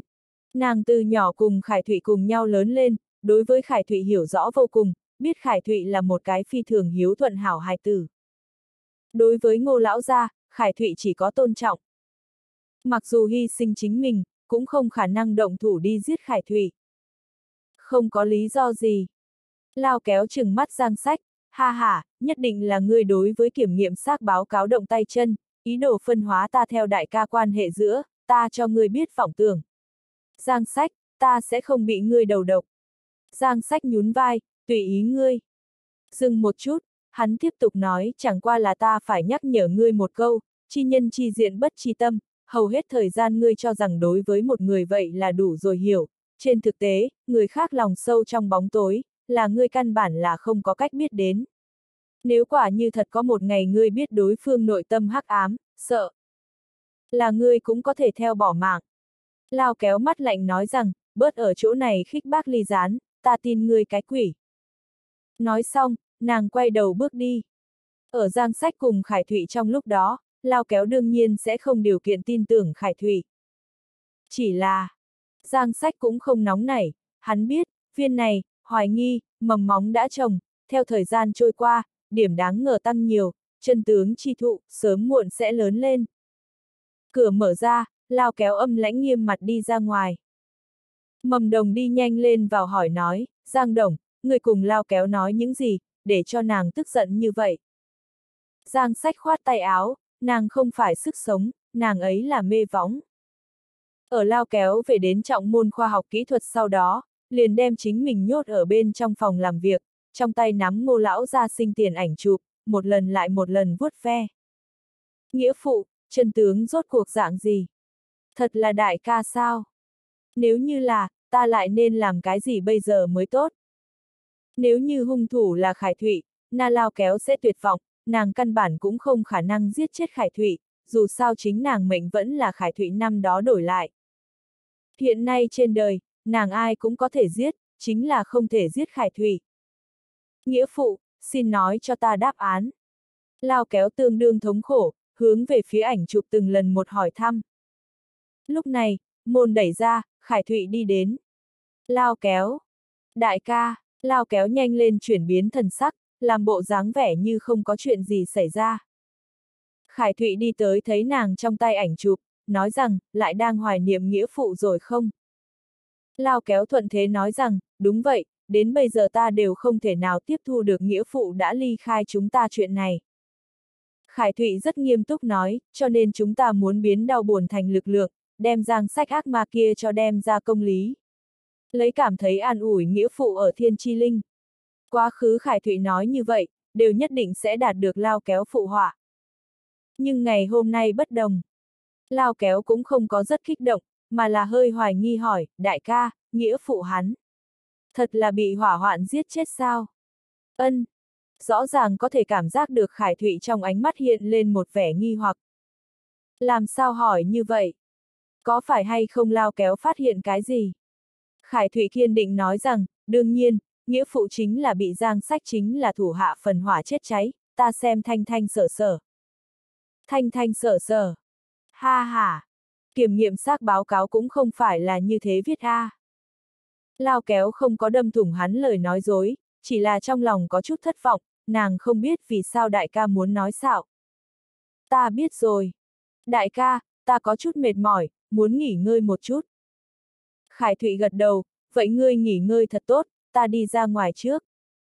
Hắn đứng dậy rời đi, trở tay đóng cửa phòng. Khải Thụy vẫn chưa rời đi, mà là đứng bình tĩnh ở cửa, trong lòng tràn ngập nghi hoặc. Từ lao kéo ngôn hành cử chỉ đến xem, nhất định là phát giác được cái gì, bất quá lao kéo còn không có bão nổi, vậy đã nói rõ lao kéo chỉ là phát hiện điểm đáng ngờ, đối với chân tướng là cái gì còn chưa cũng chưa biết. Lao kéo. Khải Thụy nhẹ nhàng hô hoán một tiếng. Ta vì ngươi bỏ ra nhiều như vậy, mời không nên sằng bậy, nếu không, ta. Khải Thụy nhìn cuối hành lang, tự lẩm bẩm, vô luận như thế nào, ta cũng muốn đạt được ngươi, lao kéo. Ngày kế buổi sáng, Giang Sách bỏ vào đến từ triệu gia thư mời, dự họp một hồi cảm tạ tiệc rượu.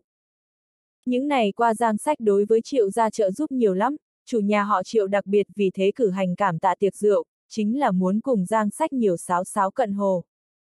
Đương nhiên, kỳ chủ mục quan trọng vẫn là vì tác hợp Giang Sách cùng triệu rong cùng một chỗ. Ở nhanh đến buổi trưa, Giang Sách đúng hạn đi tới phạn điếm, ở triệu chí lai tự mình tiếp kiến dưới, đi tới gian phòng tối cao quy cách ghế lô. Ở chỗ này ăn một bữa cơm, cũng phải tiêu tốn trăm vạn nguyên, tuyệt đối con số thiên văn. Cũng chỉ có giống như triệu gia loại này tiền muôn bạc biển đại gia tộc mới có tư cách ở chỗ này mời khách ăn, người bình thường ngay cả tới nơi này ngồi một chút tư cách cũng không có. Đại gia phân chủ khách rơi vị sau đó, đều ở đây kiên nhẫn chờ. Ngày hôm nay đi ra triệu trí lai, triệu rong, triệu hải nhân cùng với một ít triệu gia cao quản dự họp ở ngoài, còn có một cái đặc thù người cũng muốn trình diện. Đó chính là triệu hải nhân thê tử Tề Vân Mỹ. Người người đều là Tề Vân Mỹ mới là triệu gia đại não, có thể làm cho Tề Vân Mỹ lên sân khấu, mới là thật chiếm được triệu gia coi trọng. Ngày hôm nay, đối với giang sách cảm tạ tiệc rượu lại có thể đưa tới Tề Vân Mỹ tự mình dự họp, đủ để nhìn ra triệu gia là thật đối với giang sách coi trọng. Ở triệu gia, thân phận cao nhất là triệu trí lai, nhưng coi như là triệu trí lai, đã cùng Tề Vân Mỹ khách khí. Triệu gia có thể không có triệu trí lai, nhưng tuyệt đối không thể không có Tề Vân Mỹ. Người nữ nhân này trí mưu, đảm lược nếu so với triệu gia liên can các lão gia mạnh hơn nhiều, tất cả đều dựa vào người nữ nhân này bày mưu tính kế, triệu gia mới có thể phồn vinh hưng thịnh. Không bao lâu, liền nghe được hoàn bội đinh đương. Mọi người liếc nhìn nhau, đều biết là Tề Vân Mỹ tới, người nữ nhân này phi thường thích trưng diện. Đồ trang điểm, mỹ phẩm dưỡng da gì gì đó khắp phòng đều là, còn chuyên môn ở triệu gia trang trong viên kiến tạo một tòa cung điện trưng bày của nàng đồ trang sức cùng y phục, mỗi lần xuất môn đều phải mang rất nhiều đồ trang sức. Bốn chữ hình dung, ung dung hoa quý. Nàng ra một chuyến môn, na trên người chân châu, mã não, kim cương, hoàng kim đều đeo một lần, đi bắt đầu đường tới đương đương đương vang. Nhìn có được hay không khác nói, có tiền đó là khẳng định. Vừa nghe đến thanh âm này, triệu hải nhân giống như là quả cầu da xì hơi giống nhau, cúi đầu cũng không dám thở mạnh. Trong ngày thường diễu võ dương oai, đối thiên đối mà triệu hải nhân, lúc này trở nên giống như là một ngoan ngoãn bảo bảo giống nhau, cũng đủ để nhìn ra tề vân Mỹ con này cọp mẹ có bao nhiêu hung. Đừng nói triệu hải nhân rồi, coi như là gia chủ triệu trí lai trong ngày thường đối với người con dâu này cũng có chút sợ sệt. Một cái có năng lực, có tỷ khí nữ nhân, bình thường đàn ông thực sự gánh không được. Toàn bộ triệu gia, cũng chỉ có triệu dòng đối với tề vân Mỹ không có một tia một hào sợ, bởi vì tề vân Mỹ cùng triệu hải nhân giống nhau, đã cùng triệu dòng vô cùng yêu thích. Một mặt là bởi vì triệu dòng đơn thuần thiện lương, làm người thương yêu yêu, về phương diện khác cũng là bởi vì triệu rong luôn là có thể thiết kế ra phù hợp tề vân Mỹ thẩm mỹ, để cho nàng xuyên ra đi rất đẹp y phục. Cộng thêm triệu rong là triệu hải nhân muội muội, cái này mấy giờ chung vào một chỗ, tề vân Mỹ đối với triệu rong đó cũng là yêu thương phải phép. Môn đẩy ra, chỉ thấy một người cao quý phu nhân cất bước đi đến, nàng hôm nay mặc tương đương hoa lệ, sau lưng quần dài có chừng dài 4, 5 mét, nàng đi ở phía trước, phía sau còn chuyên môn có hai người hỗ trợ nâng váy. Trang diện này giá thế này, quả thực liền cùng cổ đại hoàng hậu giống nhau. Triệu hải nhân kiên chỉ đứng lên nói rằng, lão bà, vị trí cho ngươi lưu được rồi, lại đây ngồi đi. Tề Vân Mỹ cũng chỉ là, ân, một cái tiếng. Giống như là hoàng hậu trả lời thái giám giống nhau, đi thẳng qua đi ngồi ở triệu hải nhân bên người. Từ hiện trường chỗ ngồi đến xem, triệu trí lai ngồi ở chủ vị, thứ nhì chính là Tề Vân Mỹ, lại thứ nhì mới là triệu hải nhân. Tề Vân Mỹ vị trí so với triệu hải nhân cao hơn nữa. Chứng kiến một màn như thế, Giang Sách đột nhiên minh bạch vì sao triệu hải nhân sẽ ở bên ngoài tìm nhiều nữ nhân như vậy, đến mỗi một chỗ liền mua một bộ biệt thự, dùng để nuôi này tình phụ. Bởi vì triệu hải nhân căn bản không có biện pháp từ tề vân Mỹ trên người cảm thụ được, yêu, hắn ở tề vân Mỹ trước mặt, nhất định chính là cái tivi người hầu. Đường đường triệu gia trưởng tử, gia chủ người thừa kế, hôm nay phó đồng, làm sao có thể chịu được. Cho nên mới cần ở bên ngoài phát tiết. Tề Vân Mỹ ngồi xuống, ánh mắt trực tiếp liền tìm được giang sách, nàng ngày hôm nay dự họp yến hội mục đích đúng là phải xem thử xem cái này giang sách. Có thể ở cực đoan dưới điều kiện cứu ra triệu rong, đủ để nhìn ra giang sách thực lực. Nhưng Tề Vân Mỹ không phải là vì cảm tạ giang sách mà đến, tương phản, nàng là muốn tới cho giang sách thử áp, vững chắc địa vị của mình. Bởi vì ai đều biết triệu Chí lai đối với giang sách phi thường yêu thích, có ý định đem triệu rong gả cho giang sách. Nếu như giang sách trở thành triệu gia rể hiền, như vậy, tương lai rất có thể ảnh hưởng đến tề vân Mỹ địa vị, đặc biệt giang sách thực lực còn rất mạnh, một phần vạn triệu Chí lai lợi dụng giang sách tới ngăn được tề vân Mỹ nên làm cái gì bây giờ. Cho nên ngày hôm nay tề vân Mỹ qua đây, chính là muốn cho giang sách một hạ mã uy, cho hắn biết biết, triệu gia không phải hắn muốn thế nào là có thể như thế nào. Giang tiên sinh, lần đầu gặp mặt, hạnh ngộ A. Tề Vân Mỹ ngoài cười nhưng trong không cười nói. Hạnh ngộ, Giang Sách trả lời lời ít mà ý nhiều. Lúc này, Tề Vân Mỹ đột nhiên làm khó dễ, nghe nói Giang Tiên Sinh là đàm gia lão gia tử cháu trai ruột. Không biết chuyện này là thật hay giả. Hiện trường mọi người cái sắc mặt cũng thay đổi. Giang Sách là đàm vĩnh cửu thắng cháu trai ruột chuyện này, mọi người đều biết, vấn đề là trong này quan hệ có điểm phức tạp, đây đối với ông cháu lại huyên túi bụi, thông thường không có người nào sẽ chủ động tìm không thoải mái đề cập chuyện này. Tề Vân Mỹ hiển nhiên là cố ý muốn chọc giận Giang Sách. Nhưng mà, Giang Sách lại có vẻ phá lệ có giáo dưỡng, mỉm cười nói, việc này là thật. A hát, ta đây chỉ không rõ. Tề Vân Mỹ nói rằng, nào có tôn tử cùng ra ra đối nghịch. Cái này há chẳng phải là bất trung bất hiếu sao. Trọng tâm câu chuyện càng ngày càng quá phận. Triệu Hải nhân âm thầm thầm vui, lòng nói, Giang Sách a à, Giang Sách, lúc này cũng để cho ngươi nếm thử cọp mẹ uy lực, trong ngày thường ta có thể bị cái này cọp mẹ cho hành hạ muốn sống muốn chết, ngày hôm nay cũng để cho ngươi nếm một chút ta mỗi ngày mùi vị của thống khổ. Hiện trường bầu không khí lập tức liền đao xuống dưới. Lúc này, triệu chí lai nhanh lên đổi chủ đề cái kia. Người bán hàng, màu đem ta tỉ mỉ chuẩn bị, năm màu là tử kê, bưng lên. Không bao lâu sau, hai gã người bán hàng bưng một cái mâm lớn đi lên, đem bày ở cái bản chính giữa, mở ra che sau, bên trong lộ ra một đại mâm lạt tử kê. Món ăn này chia làm hồng, vàng, hắc, bạch, lục năm loại nhan sắc, xinh đẹp tột cùng. Mở ra che sau, mùi vị phiêu tán cả nhà đều là, khiến người ta nghe thấy liền rơi nước bọt. Có thể nói, là sắc hương vị câu toàn tuyệt đối mỹ thực. Chỉ là món ăn này, không có hơn 1200 ngàn đó là bắt không được tới, đủ để nhìn ra triệu chí lai đối với giang sách có bao nhiêu coi trọng. Hắn cười ha hả chỉ vào lạt tử kê nói rằng, giang tiên sinh, tới, nếm thử lão phu tự mình làm ngươi chuẩn bị năm màu lạt tử kê.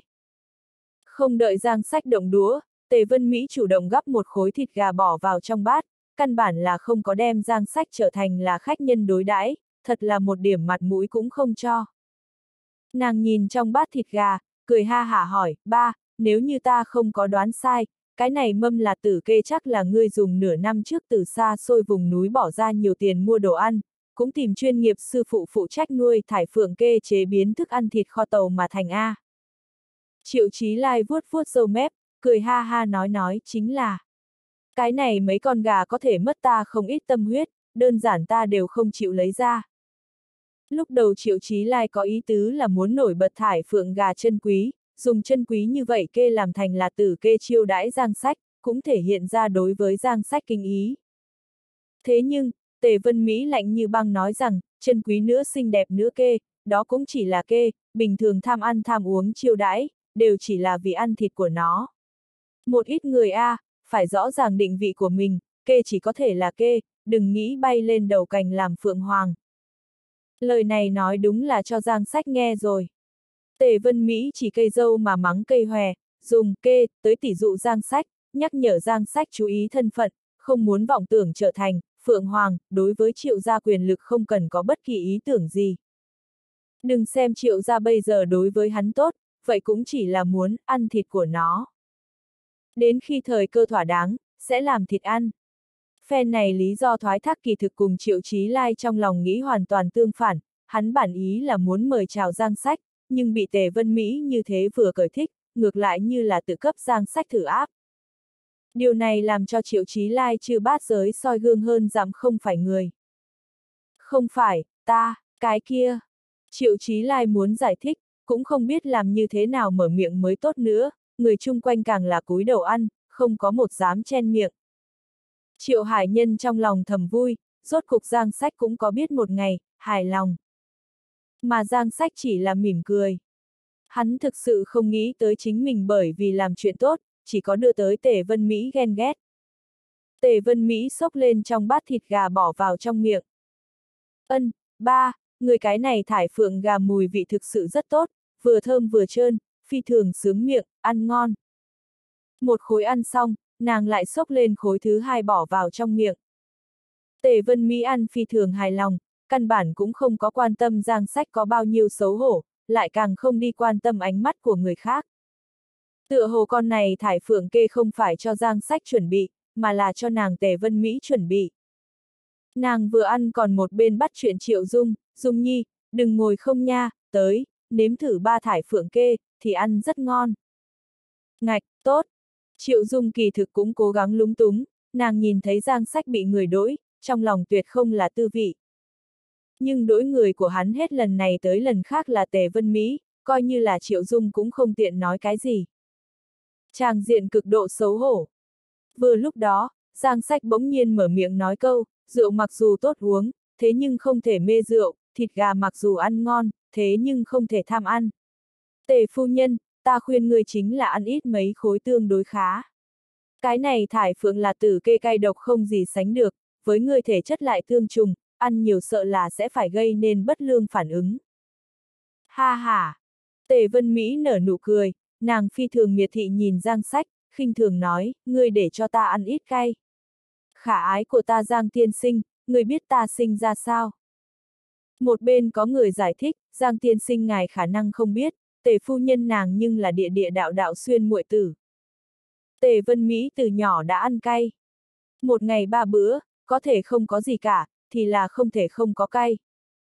Tiêu, là điển hình cô em tử, thân thể đã sớm thích ứng cay. Liên loại trình độ này là tử kê, ở tề vân Mỹ trong mắt của căn bản cũng không tính là gì. So với cái này cay gấp 10 lần trọng cay cái lẩu, tề vân Mỹ cũng có thể một người ăn một nồi. Bằng không sao lại thế tánh khí nóng nảy, nhìn thiên hạ bằng nửa con mắt. Con này cọp mẹ vừa lên tiếng cũng cảm giác có hỏa phun ra ngoài, giống như này một cái kỳ nữ tử, người để cho nàng ăn ít cay, sợ nàng bị cay chết rồi. Ha ha, đơn giản là buồn lo vô cớ. Mọi người đối với Giang Sách lời nói bất tiết nhất cố, nhao nhao lắc đầu cười to.